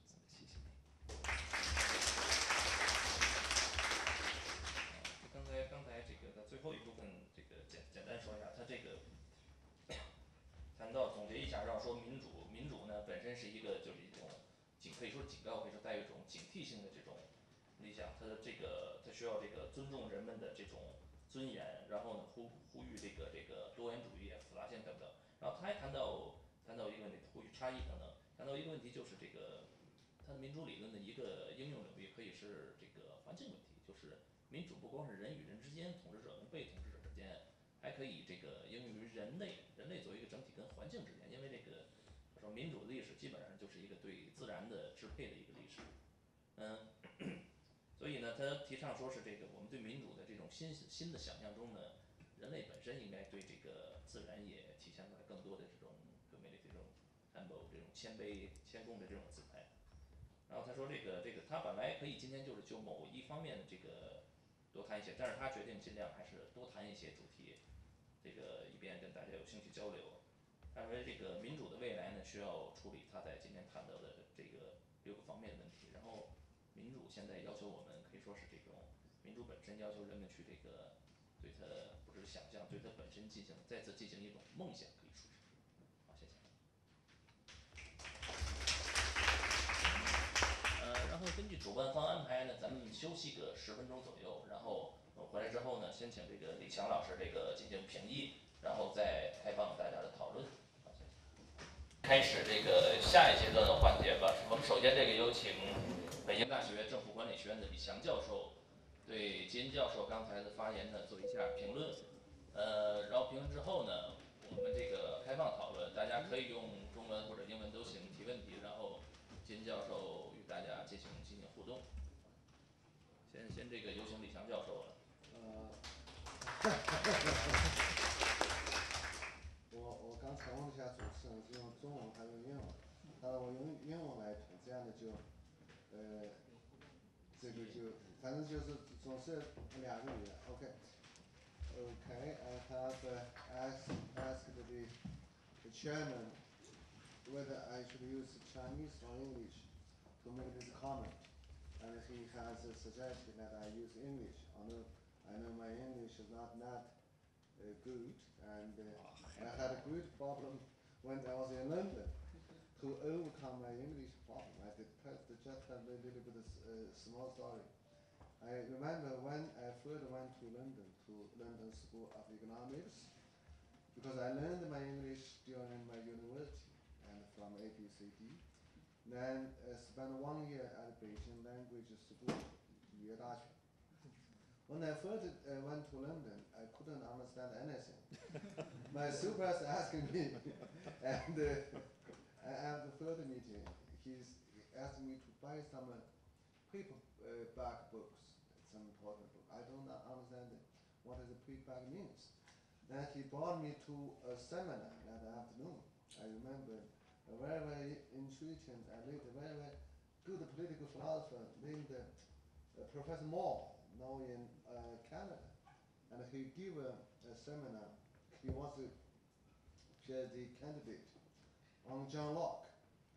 In the entire seminar, I could only understand the Hobbes and Locke. I couldn't understand it. So my supervisor finally, very, very disappointed. He told me that I should not hope to pursue PhD. I should uh, just read some books, take some lectures, and return to China and to have free study.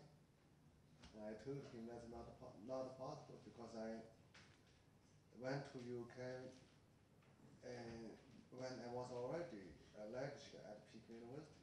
If I returned without the PhD, I will lose my job. I couldn't find a job. Anyhow, and the English is uh, always a big problem for me. And, but I uh, have managed to understand the Professor Keane's lecture. And I think he has uh, given a very wonderful lecture. And he has uh, uh, presented the main contents of his new book.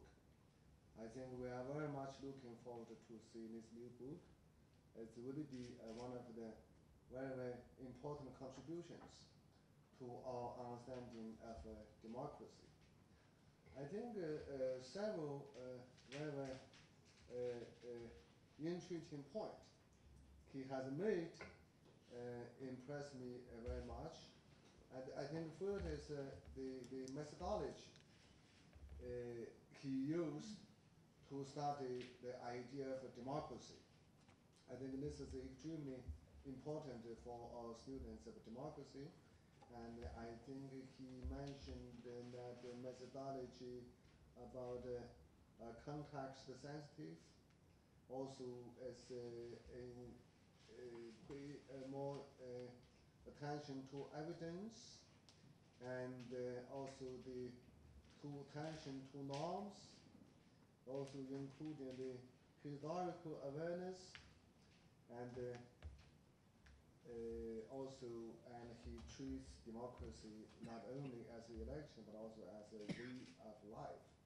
I think his methodology of studying democracy is uh, uh, quite uh, innovative, at first.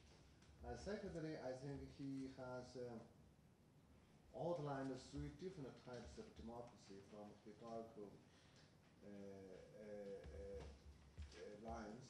And one is in the ancient Greek, and what he called as assembly democracy. Because traditionally we also call the so-called direct democracy. And the second period, and so representative democracy that has been the main forms of a democracy in Western democracies. And however, he, uh, uh, emphasizes the third uh, idea of a democracy, third type. As a monitory democracy, he used the Chinese Jiandushi Minzhu.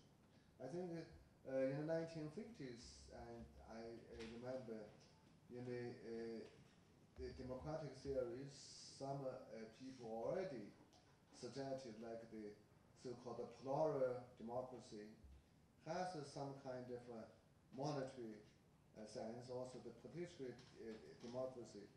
But uh, Professor Keane had a, has a, much, I think it's quite a new idea, a new notion to characterize the new type of democracy which has developed since, for, for instance, after the Second World War, and will be the major form for me- imagined democracy in the future. I think the three types of democracy is very, very clearly ana- analyzed. And uh, uh, third point, uh, I would like to also mention is uh, his uh, idea for the imagine. And he used uh, uh, the Japanese uh, political philosopher uh, Wan Sanzhen as a conception that uh, democracy as a, a imagined fiction. And uh, in order to uh, encourage people to achieve democracy or to have a more idealized political form, you have to have uh, imagination. So I think uh, he used the term the imagine democracy. Also, he imagined the, the future democracy should uh, be able to deal with those six themes. I think this is a very, very encouraging idea, particularly uh, in a time when democracy is challenged everywhere in the world, and he put forward this new imagination. I think it's a wonderful idea. That's a, uh, uh, this is the uh, uh, three point I'd like to uh, to uh, mention that uh, which uh, uh, uh, impressed to me very much because I did not uh, read his uh, uh, book or papers before uh, uh, about this lecture. Okay, and also I have uh, some uh, uh, uh, I have uh, some uh, comments or some other uh, ideas.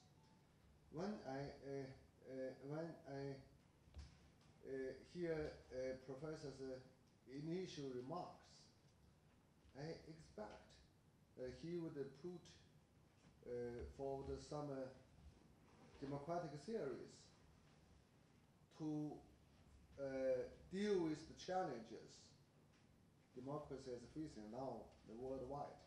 Because he has mentioned that uh, known as uh, popular dissat- dissatisfaction with democracy in uh, worldwide, in Western democracies, and uh, and uh, a lot of problems.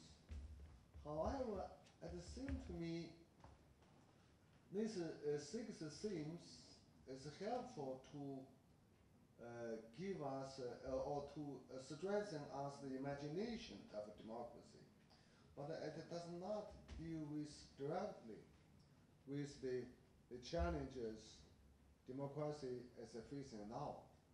I think it's about uh, uh, if my impression is the one of the main argument of the professor is to rescue democracy through more democracy. This is if I characterize this as six uh, six themes, because I I, I uh, when I read uh, the American Constitution making, the uh, American Federalists use the term rescue democracy by republicanism. That is rescue democracy by reducing democracy. But the, the professor's theme is rescue democracy by more democracy. I really uh, be, be, uh, doubt whether this is the, uh, the, the, the, the way to, to meet this challenge. Of course, you can increase, you can strengthen people's imagination, let people to understand that we should have uh, more democracy because uh, uh, if I uh, uh, uh, read this new analyzing these new six new themes one by one. The first is and to have a more broad imagination, not too much uh, uh, uh, on the local. Uh, no, no, no. The first is the about the democracy need uh, to have a more local concern and to get rid of the the, the, the, the Western centered idea of democracy. A second is uh, okay, monitory democracy. And third is uh, capitalism and democracy as to probably promote democracy uh, beyond the political arena into social democracy. And uh, the fourth is the global democracy. That is, extend democracy beyond the, the nation state into the global areas and uh, of course about the war and the family normative. And uh, my understanding of the challenge of democracy in the world now uh, is like this. I think in the Western countries, tr- one of the major challenges to the Western society has been the, the globalization. Because of the globalization, because like New York Times, uh, the, the Friedman said the, the world is flat. Global distribution of uh, global circulation of the labor, commodity, and the capital. That has produced some kind of economic and social situation and uh, enhance the non-Western countries' economic uh, uh, welfare, and this has made the Western countries the advantage in the economy and in warfare much less advantages in comparison. For instance, I remember uh, I returned from America to China in 1994. When I returned, I remember the all PhD students, PhD graduates, if you happen to have a chance to enter the university to get an assistant professor, you could earn about 40,000 American dollars per year. When I returned China in 1994, I earned about four 4,000 Chinese yuan per year. Now it's about uh, more than 20 years after the American assistant professor now is a double their salary, about uh, 80, 90,000 per year. The Chinese professors earn more than 100 times than that. This is all the global, because the world is flat. This has produced the situation I think one of the very, very big challenges for the developed countries is the, the, the relative, relative stagnation of income. Not only, of course, also because of the globalization, global com- competition. Therefore, in order to keep their competitive advantages, so they have to attract the capital and more talented people from worldwide that uh, that uh, makes the disparity between, between the rich and poor and more obvious. I think the, the, the, the situation you mentioned that in uh, 1950 50 to 1975, the, the golden period of this social welfare policies in uh, uh, European and Amer- American probably is ex- exceptional. I always is thinking about the Karl Marx idea. If you want to have a socialism, you have to worldwide, all together, to achieve socialism. If some countries has a socialism, other country does not have socialism, those countries without the socialism will attract more capitals and more talented peoples. That uh, I think has been the situation of the European uh, countries. I, I doubt whether the problem for European uh, economy has been the result of the new uh, liberalism or has been the result of the social democracy because uh, as unfortunately as a global competition. If you want to have a socialism and Marx's idea, you have probably have to the, the worldwide all together, worldwide no competition. So I think it's the uh, the problem of the for the advanced countries. Uh, I think is uh, the in order to deal with the challenge of democracy as facing now, probably we need more than imaginations. We need to rethink about the democratic institutional structure of the Western countries. And uh, I myself, as a student uh, history of political thought, and uh, have studied a little bit about like uh, American uh, constitution makings. Before the constitution making, there was uh, the, the democracy in the different states. it produced a lot of problems. When the constitution was made, the founding fathers had a clear idea that the pure democracy is not workable as a political institution. In order to be workable as a political institution, you have to mix with other elements. Therefore, they produce a system which they call the republicanism, who use the republicanism to rescue the, uh, the, the, the, the, the problem of democracy.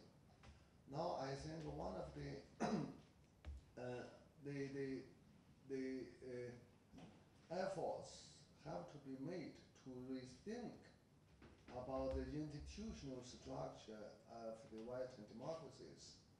And of course, uh, the, the, I will uh, uh, mention a little bit about other countries. And uh, this is one of the, the, the, my ideas. The second idea I have is uh, one of your arguments about the normative justification of a democracy is that a democracy might be able to produce a kind of a, a, a, a temperament of uh, humility and uh, to avoid so-called uh, what the the the the the the the, the uh, 狂妄自大 hubris. Uh, this might be the case, and if you uh, have a very very idealized democracy. However, if you uh, uh, we think about the Tocqueville's idea and the John Stuart Mill's idea of the tyranny of the majority, we could immediately think that, that the people, or particularly the majority themselves, may not be always uh, uh, uh, have the, the, the sense of humility. Uh, they probably will tend more to the, the, the, the uh, to hubris. So I, I doubt whether this kind of argument, justification for democracy, is uh, uh, still a kind of utilitarian argument, a consequential argument. Why not? We stick to like uh, uh, John uh, Rousseau's argument that the people, man should should uh, be, be, be, be should have self autonomy, and this is the the, the, the, the basis of human dignity, and we we need democracy to achieve self uh, autonomy. I think that, if you so, so this is my because I think your uh, justification justification is still kind of consequential uh, justification, and also I think uh, uh, this is second. The third point is about the. You mentioned uh, initially, you know, third point uh, about the uh, in, in, indigena- uh, the indigenation, the indigenization, and the necessary should be more, pay more attention to the local experience. However, I think there might be something uh, essential about democracy. Uh, in the case of China, I think about the local uh, election or all those things uh, seem to be not a, uh, quite a good example for the, the, the different uh, uh, type of democracy in a different locality. I think it's, uh, when we talk about de- democracy, now, there must be something. If you say uh, not election, but there must be something there and about democracy. You cannot say that anything reflected people's.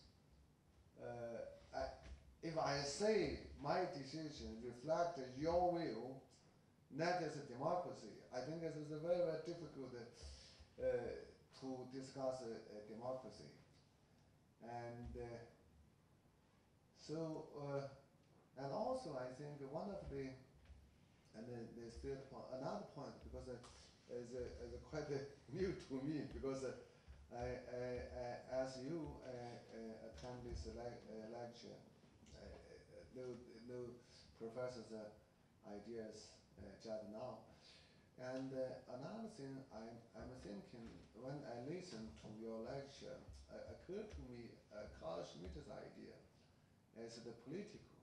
I think it's one of the very, very interesting uh, uh, impression for me is the, the entire discussion of democracy is to use non-political methodology to discuss a very, very important issue in politics. I think one of the, the, the, the challenges the, the world free, as facing, and particularly also uh, the, the, the Western democracy as facing, uh, as the emergence of the identity politics worldwide. Because traditionally, we have been uh, accustomed to a kind of intrigue politics. People, uh, individuals have uh, their own rights, and people are divided into different classes. Classes form into the political parties. Political parties and uh, will have different ideologies. And uh, however, today, and one of the very, very interesting phenomena of the Western uh, populism is their aim is not against, mainly not against the capitalists in their countries, but uh, opposed immigration and uh, other uh, so-called refugees from other countries. This gives us some ideas that the so-called identity politics and uh, is growing rapidly and because of the globalization, because the people in the uh, UK, in France, in Netherlands, which those people who uh, tend to, to, to, to pursue uh, or follow populism, they pursue the danger to their life, not from the traditional capitalism, but from mainly from the foreign immigrants and refugees. Of course, the traditional capitalism is regarded as some collaborate with those foreign forces. So I think it's the, this is one of the very, very difficult uh, issues, democracy as a fiction now, because the traditional democracy is based on different people pursue different interests. If your political motivation is about the interest, that tend to be rational in politics. However, if your political motivation is not the interest, but identity, they tend to produce irrational politics. This, I think, will be one of the very, very important challenges to many countries, to Western countries, also to non-Western countries. The nationalism, the religious fundamentalism is now emerging everywhere in the world. So I doubt only imagination of uh, uh, the, the, the, the good thing for democracy uh, could be enough. So my uh, main idea is that probably we need to really seriously think or discuss about the, the institutional structure of democracy to rescue the problem of democracy through probably less democracy. I still like to, to return to the American founding fathers idea to rescue democracy through republicanism, not to rescue democracy through more democracy. Uh, I'm sorry because uh, it's uh, uh, quite new to me. I, uh, okay, thank you very much. Sure, but briefly. Uh, CCNE, Professor Li, th- this is quite a lot of points. And uh, because my sketch was very big, the replies are very big as well. Um, I would like to say just a couple of things. First of all, I think you misunderstand what I mean by uh, the democratic imagination. Uh, we translated this as 想象, but it includes, it's not just in the head, it includes lived experience with institutions. So, when you say that this is all very good, very stimulating, but we need to pay attention to institutions, that is what I was doing. Uh, because I was interested, in, I, for example, the whole idea of Tian Du Jiandushi Minzhu is a, a transformation, a reimagining and transformation of institutions, the creation of many new institutions. Um, secondly, yes, there is in my book a call for more democracy. And this was the famous uh, slogan of Willy Brandt in the 1960s. You know, what Germany needs, what the world needs is mehr Demokratie, you know, more democracy. What does this mean? I think that um, in the book I developed this idea of democracy failure. You know, markets fail, but so do democracies. Let me give you an example, or several examples. The banking and credit sector of Western capitalist economies has hardly any democracy inside it. And this is a reason why it's dangerous for democracy.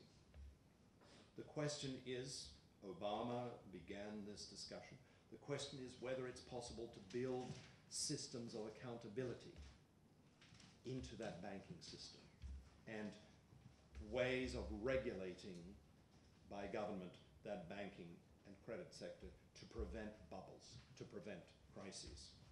Or, another example, uh, can we develop democratic mechanisms uh, for regulating our relationship with the biosphere? Green parties are examples, but there are many um, innovations like bioregional assemblies, Earthwatch uh, networks that are new institutions that involve a reimagining of uh, what democracy uh, means. This is the, the, the second point. Third point. You, uh, Professor Li, are rightly skeptical about uh. I am not sure whether you are an American Republican.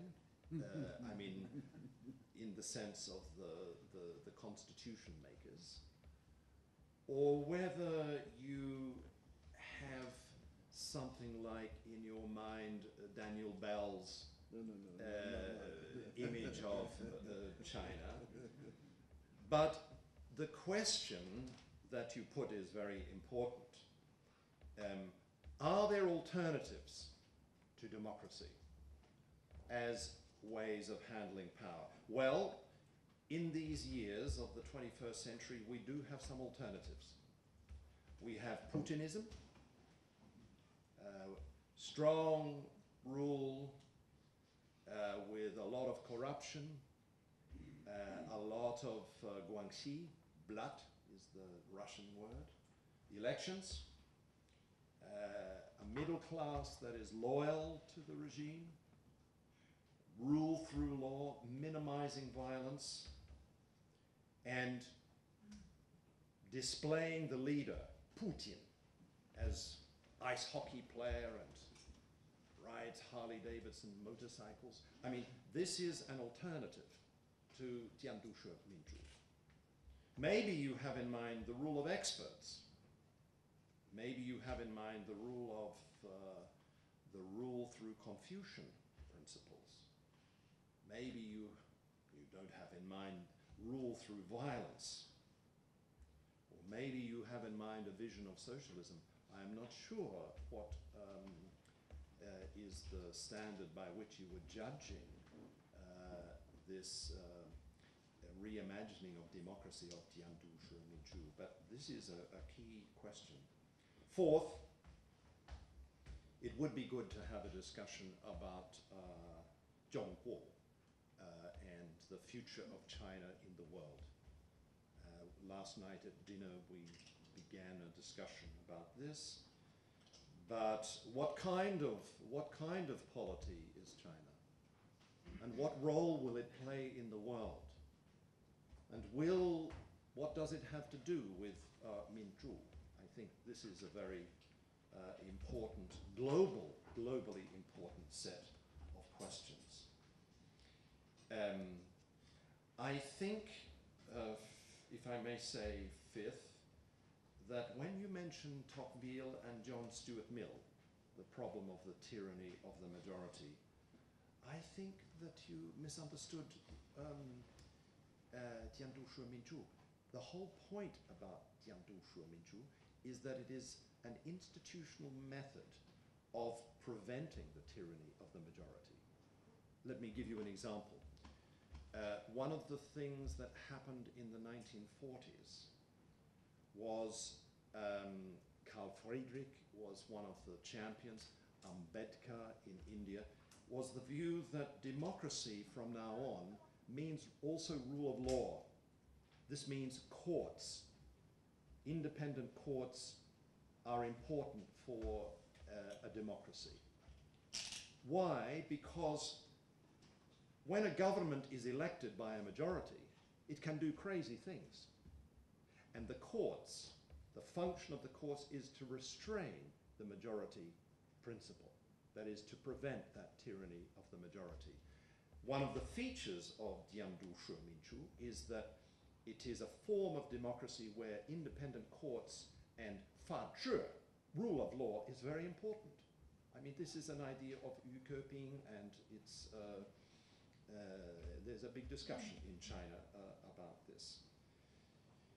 Um, I am not sure what to say about Carl Schmitt, number six. I mean, this is a big discussion, but the whole um, imaginary of Jiandushi Minzhu is opposed to that Carl Schmitt idea that politics is basically Hobbes, that politics is friend and enemy, that politics is inevitably about violence, and that democracies are uh, essentially uh, bound to territorial states. All of this way of thinking is, for me, uh, strange. And I would say even that, as you know, uh, there is a fascist quality about Carl Schmitt. I mean, that he became a, a, a Nazi is not accidental. This is a fascist way of thinking, and this kind of thinking you can find in uh, Chantal Mouffe. Uh, it's a kind of an attempt to revive uh, Schmitt, to revive Hobbes. I think it is, it's, it, it's, it, it, it doesn't sit very well with uh, democracy. One last thing. Um, democracy, Jacques Derrida said, the great French philosopher, is never finished. You, there, there is no utopia. You never get, we can never get to democracy. We are always chasing Minzhu around the corner, climbing stairs, up into blue skies. I mean, struggles for democracy, struggles to keep alive democracy are never finished. There is no perfect democratic utopia where we will all be happy, where we will all be equal, where we will, there will no longer be any politics, we will live in harmony, and we will be very happy with for the rest of our lives, and our children will be happy, and our grandchildren will be happy. I mean, this is not um, this is not as the norm of democracy uh, is to be understood. Democracy um, is never finished, never achieved. And finally, um, you are right to emphasize this problem of interests and identity. Uh, you are right to emphasize the problem of non rational behavior, populism, the new populism is full of this. Uh, it is um, a type of politics that has nationalism built into it. There is a problem of fundamentalism. I mean, these, um, in these years of the 21st century, these problems of dogmatism, these problems of um, monopolistic ways of thinking about life, they are a great danger for democracy. I think you and I agree about this. The question is how to prevent um, the resurgence, the, the re-emergence of nationalism, of fundamentalism, of other isms. Um, and so I come back to my question, what is the serious alternative to Minzhu? What is, what, what exactly would it look like? I mean, it i- is it the China model? Uh, I, I'm not sure what you have in mind. So, 谢谢。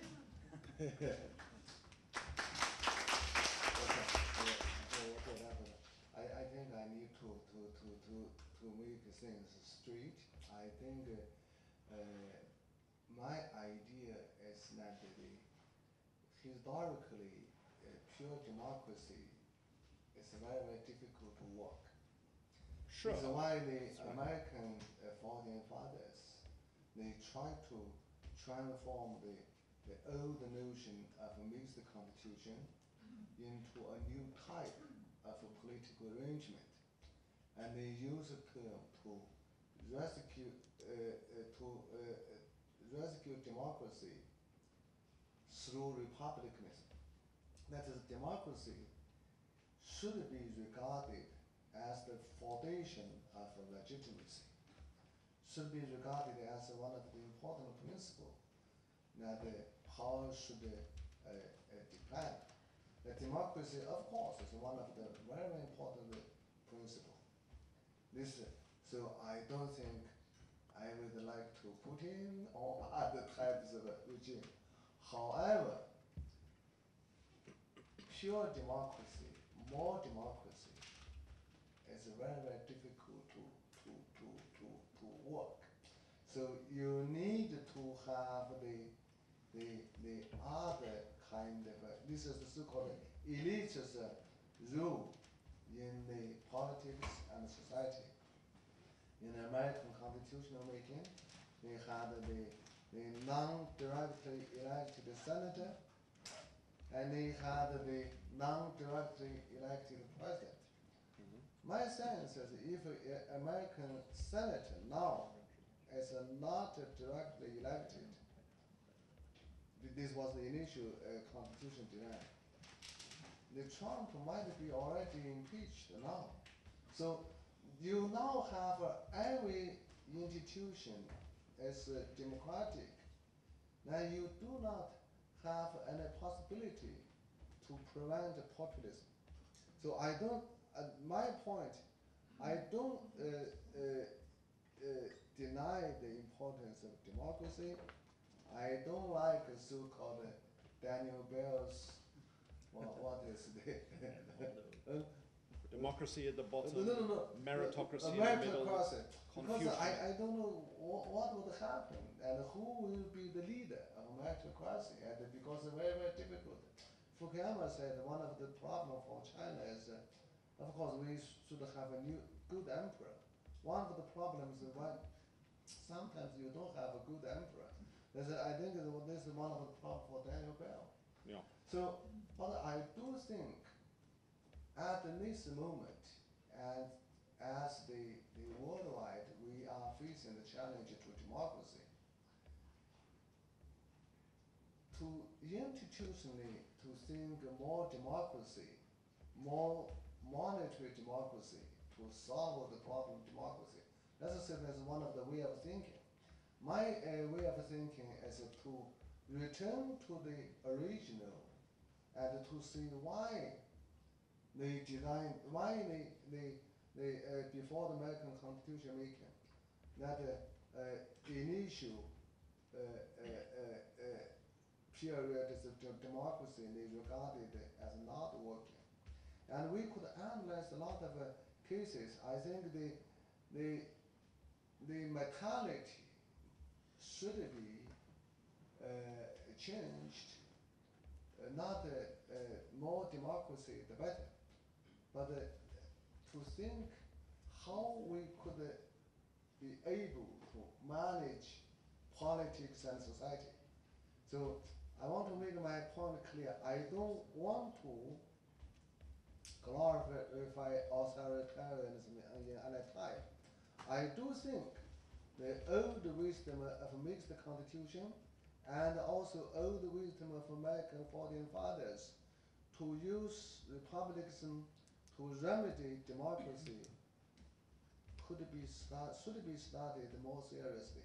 To think about how could we deal with today's uh, problems, not only in the West, but also also in China. And if we seriously think about uh, our future democracy, what kind of democracy we may have?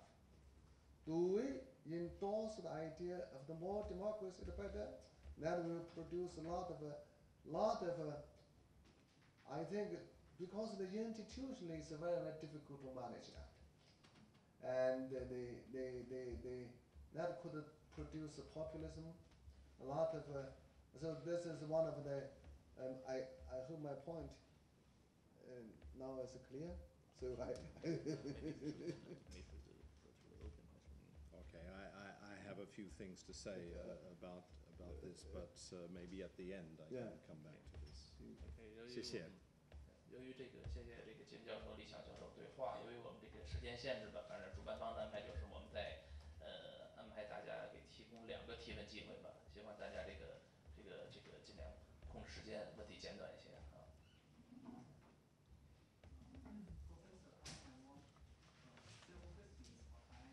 Nice and loud, yes. You, you mentioned that China has some democra- democratic factors in 1940s. Um, what do you think of Ch- uh, China's today? Oh. Uh, could you share your ideas? Thank you. 树大猢狲散, yes. well, um, the book which I have just finished, uh, which is coming out soon, um, is first of all a critique of the concept of authoritarianism. This was a term invented by Samuel Huntington uh, around 1970.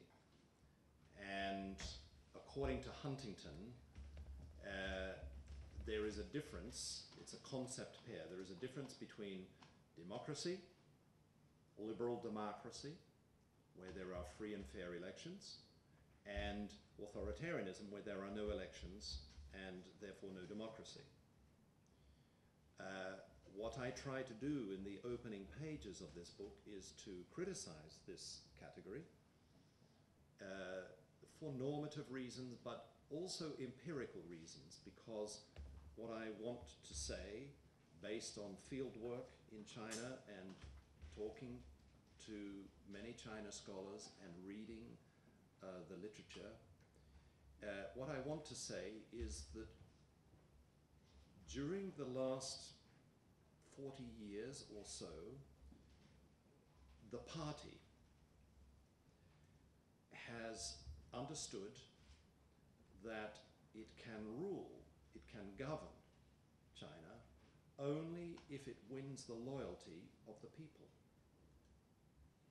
because it knows that uh, Shu Dao Husun San, that if the tree falls, the monkeys scatter.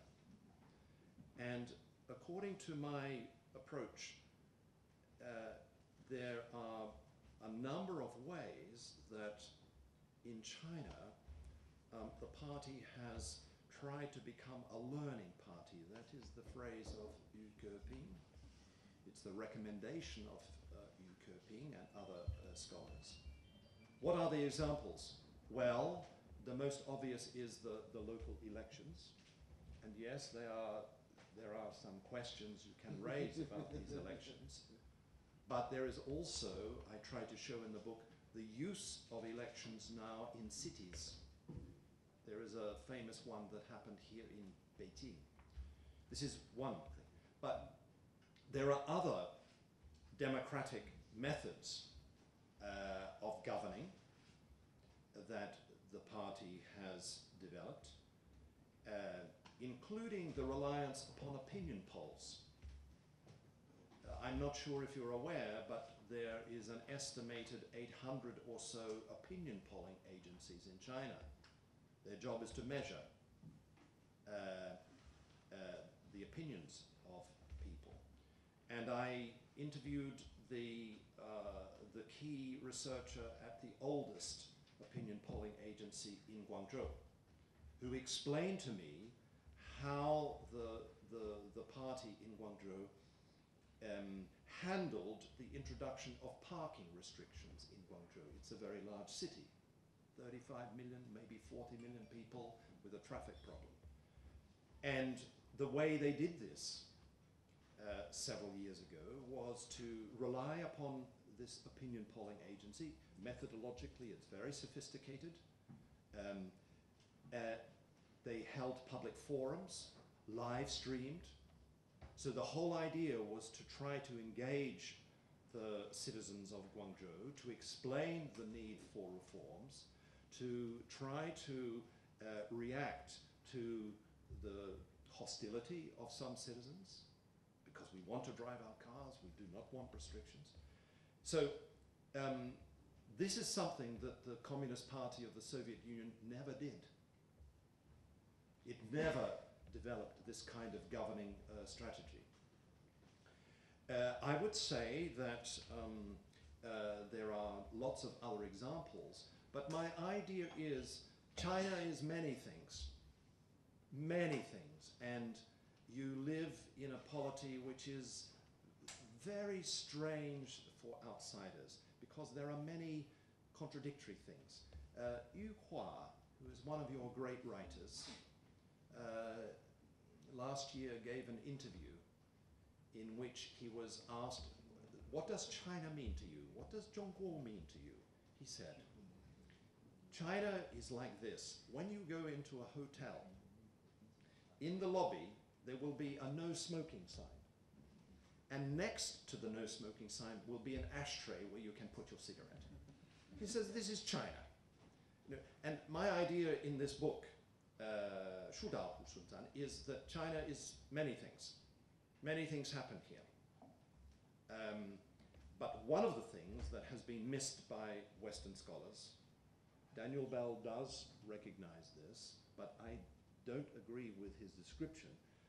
One of the things that has been missed by Western scholars is that um, never before in the history of one party government did those who rule experiment with locally made forms of Minzhu because they understand that um, Mao was wrong. Political power does not grow from the barrel of a gun.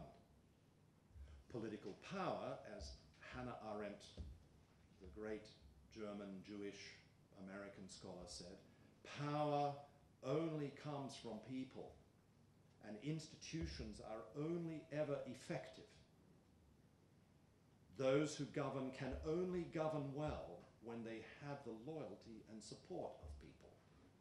And I think that as an outsider, that is um, what I think um, the Chinese Communist Party, at least many within the Chinese Communist Party, have understood.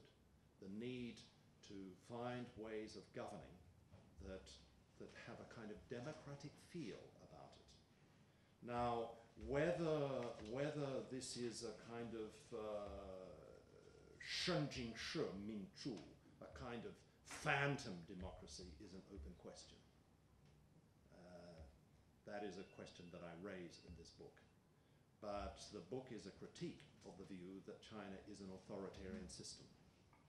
Um, I would say, just biographically, that this book began when a very famous political scientist, I cannot mention the name of this political scientist, said to me, I said, I was, I'm thinking of, I'm starting to learn Mandarin, I'm thinking of writing a book about democracy and China. The political scientist said to me, very straightforward, there is no democracy in China. and it was that remark that made me think that I would like to write this book. So I'm sorry for the long reply, but that is my, that is my um, interpretation. And I think it is an example of the indigenization of democracy. Certainly, one thing is clear. Um, those who govern China speak several languages.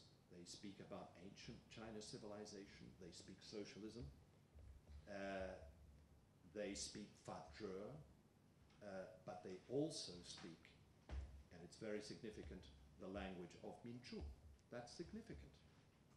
They do not speak about God, they do not speak about uh, monarchy, they do not speak about uh, republics. They speak about democracy. And uh, this needs to be taken seriously. And I would hope, as young scholars, that you, you pay attention to that trend. And it does, of course, raise the question of institutional innovations. or it raises the question of whether actually Confucian ethics, for instance, should be the guiding principles of power. Uh, Frank Fukuyama, I am in this sense agreed with Frank Fukuyama. The problem with the Confucian uh, imagining of government is the bad emperor problem. You know, what happens if you have, if you give all power or a lot of power to a small group? In my uh, approach, the great danger is hubris. The great danger is uh, 狂妄, uh, so um, that is the great danger. And what is the remedy for that? That you have some mechanisms of accountability, of openness. Maybe this is not very persuasive, but that's my current thinking about uh, China. And this question of um, democracy in China is becoming globally relevant because raise the question again what kind of what kind of China in the world will we see? If you may not like this, but if um, a new empire is rising, and it has China has all of the signs, it shows the signs of a new empire. What kind of empire will it be? I think this is something that in the West we think about every day, and it is something that I think you as young political thinkers should be paying attention to.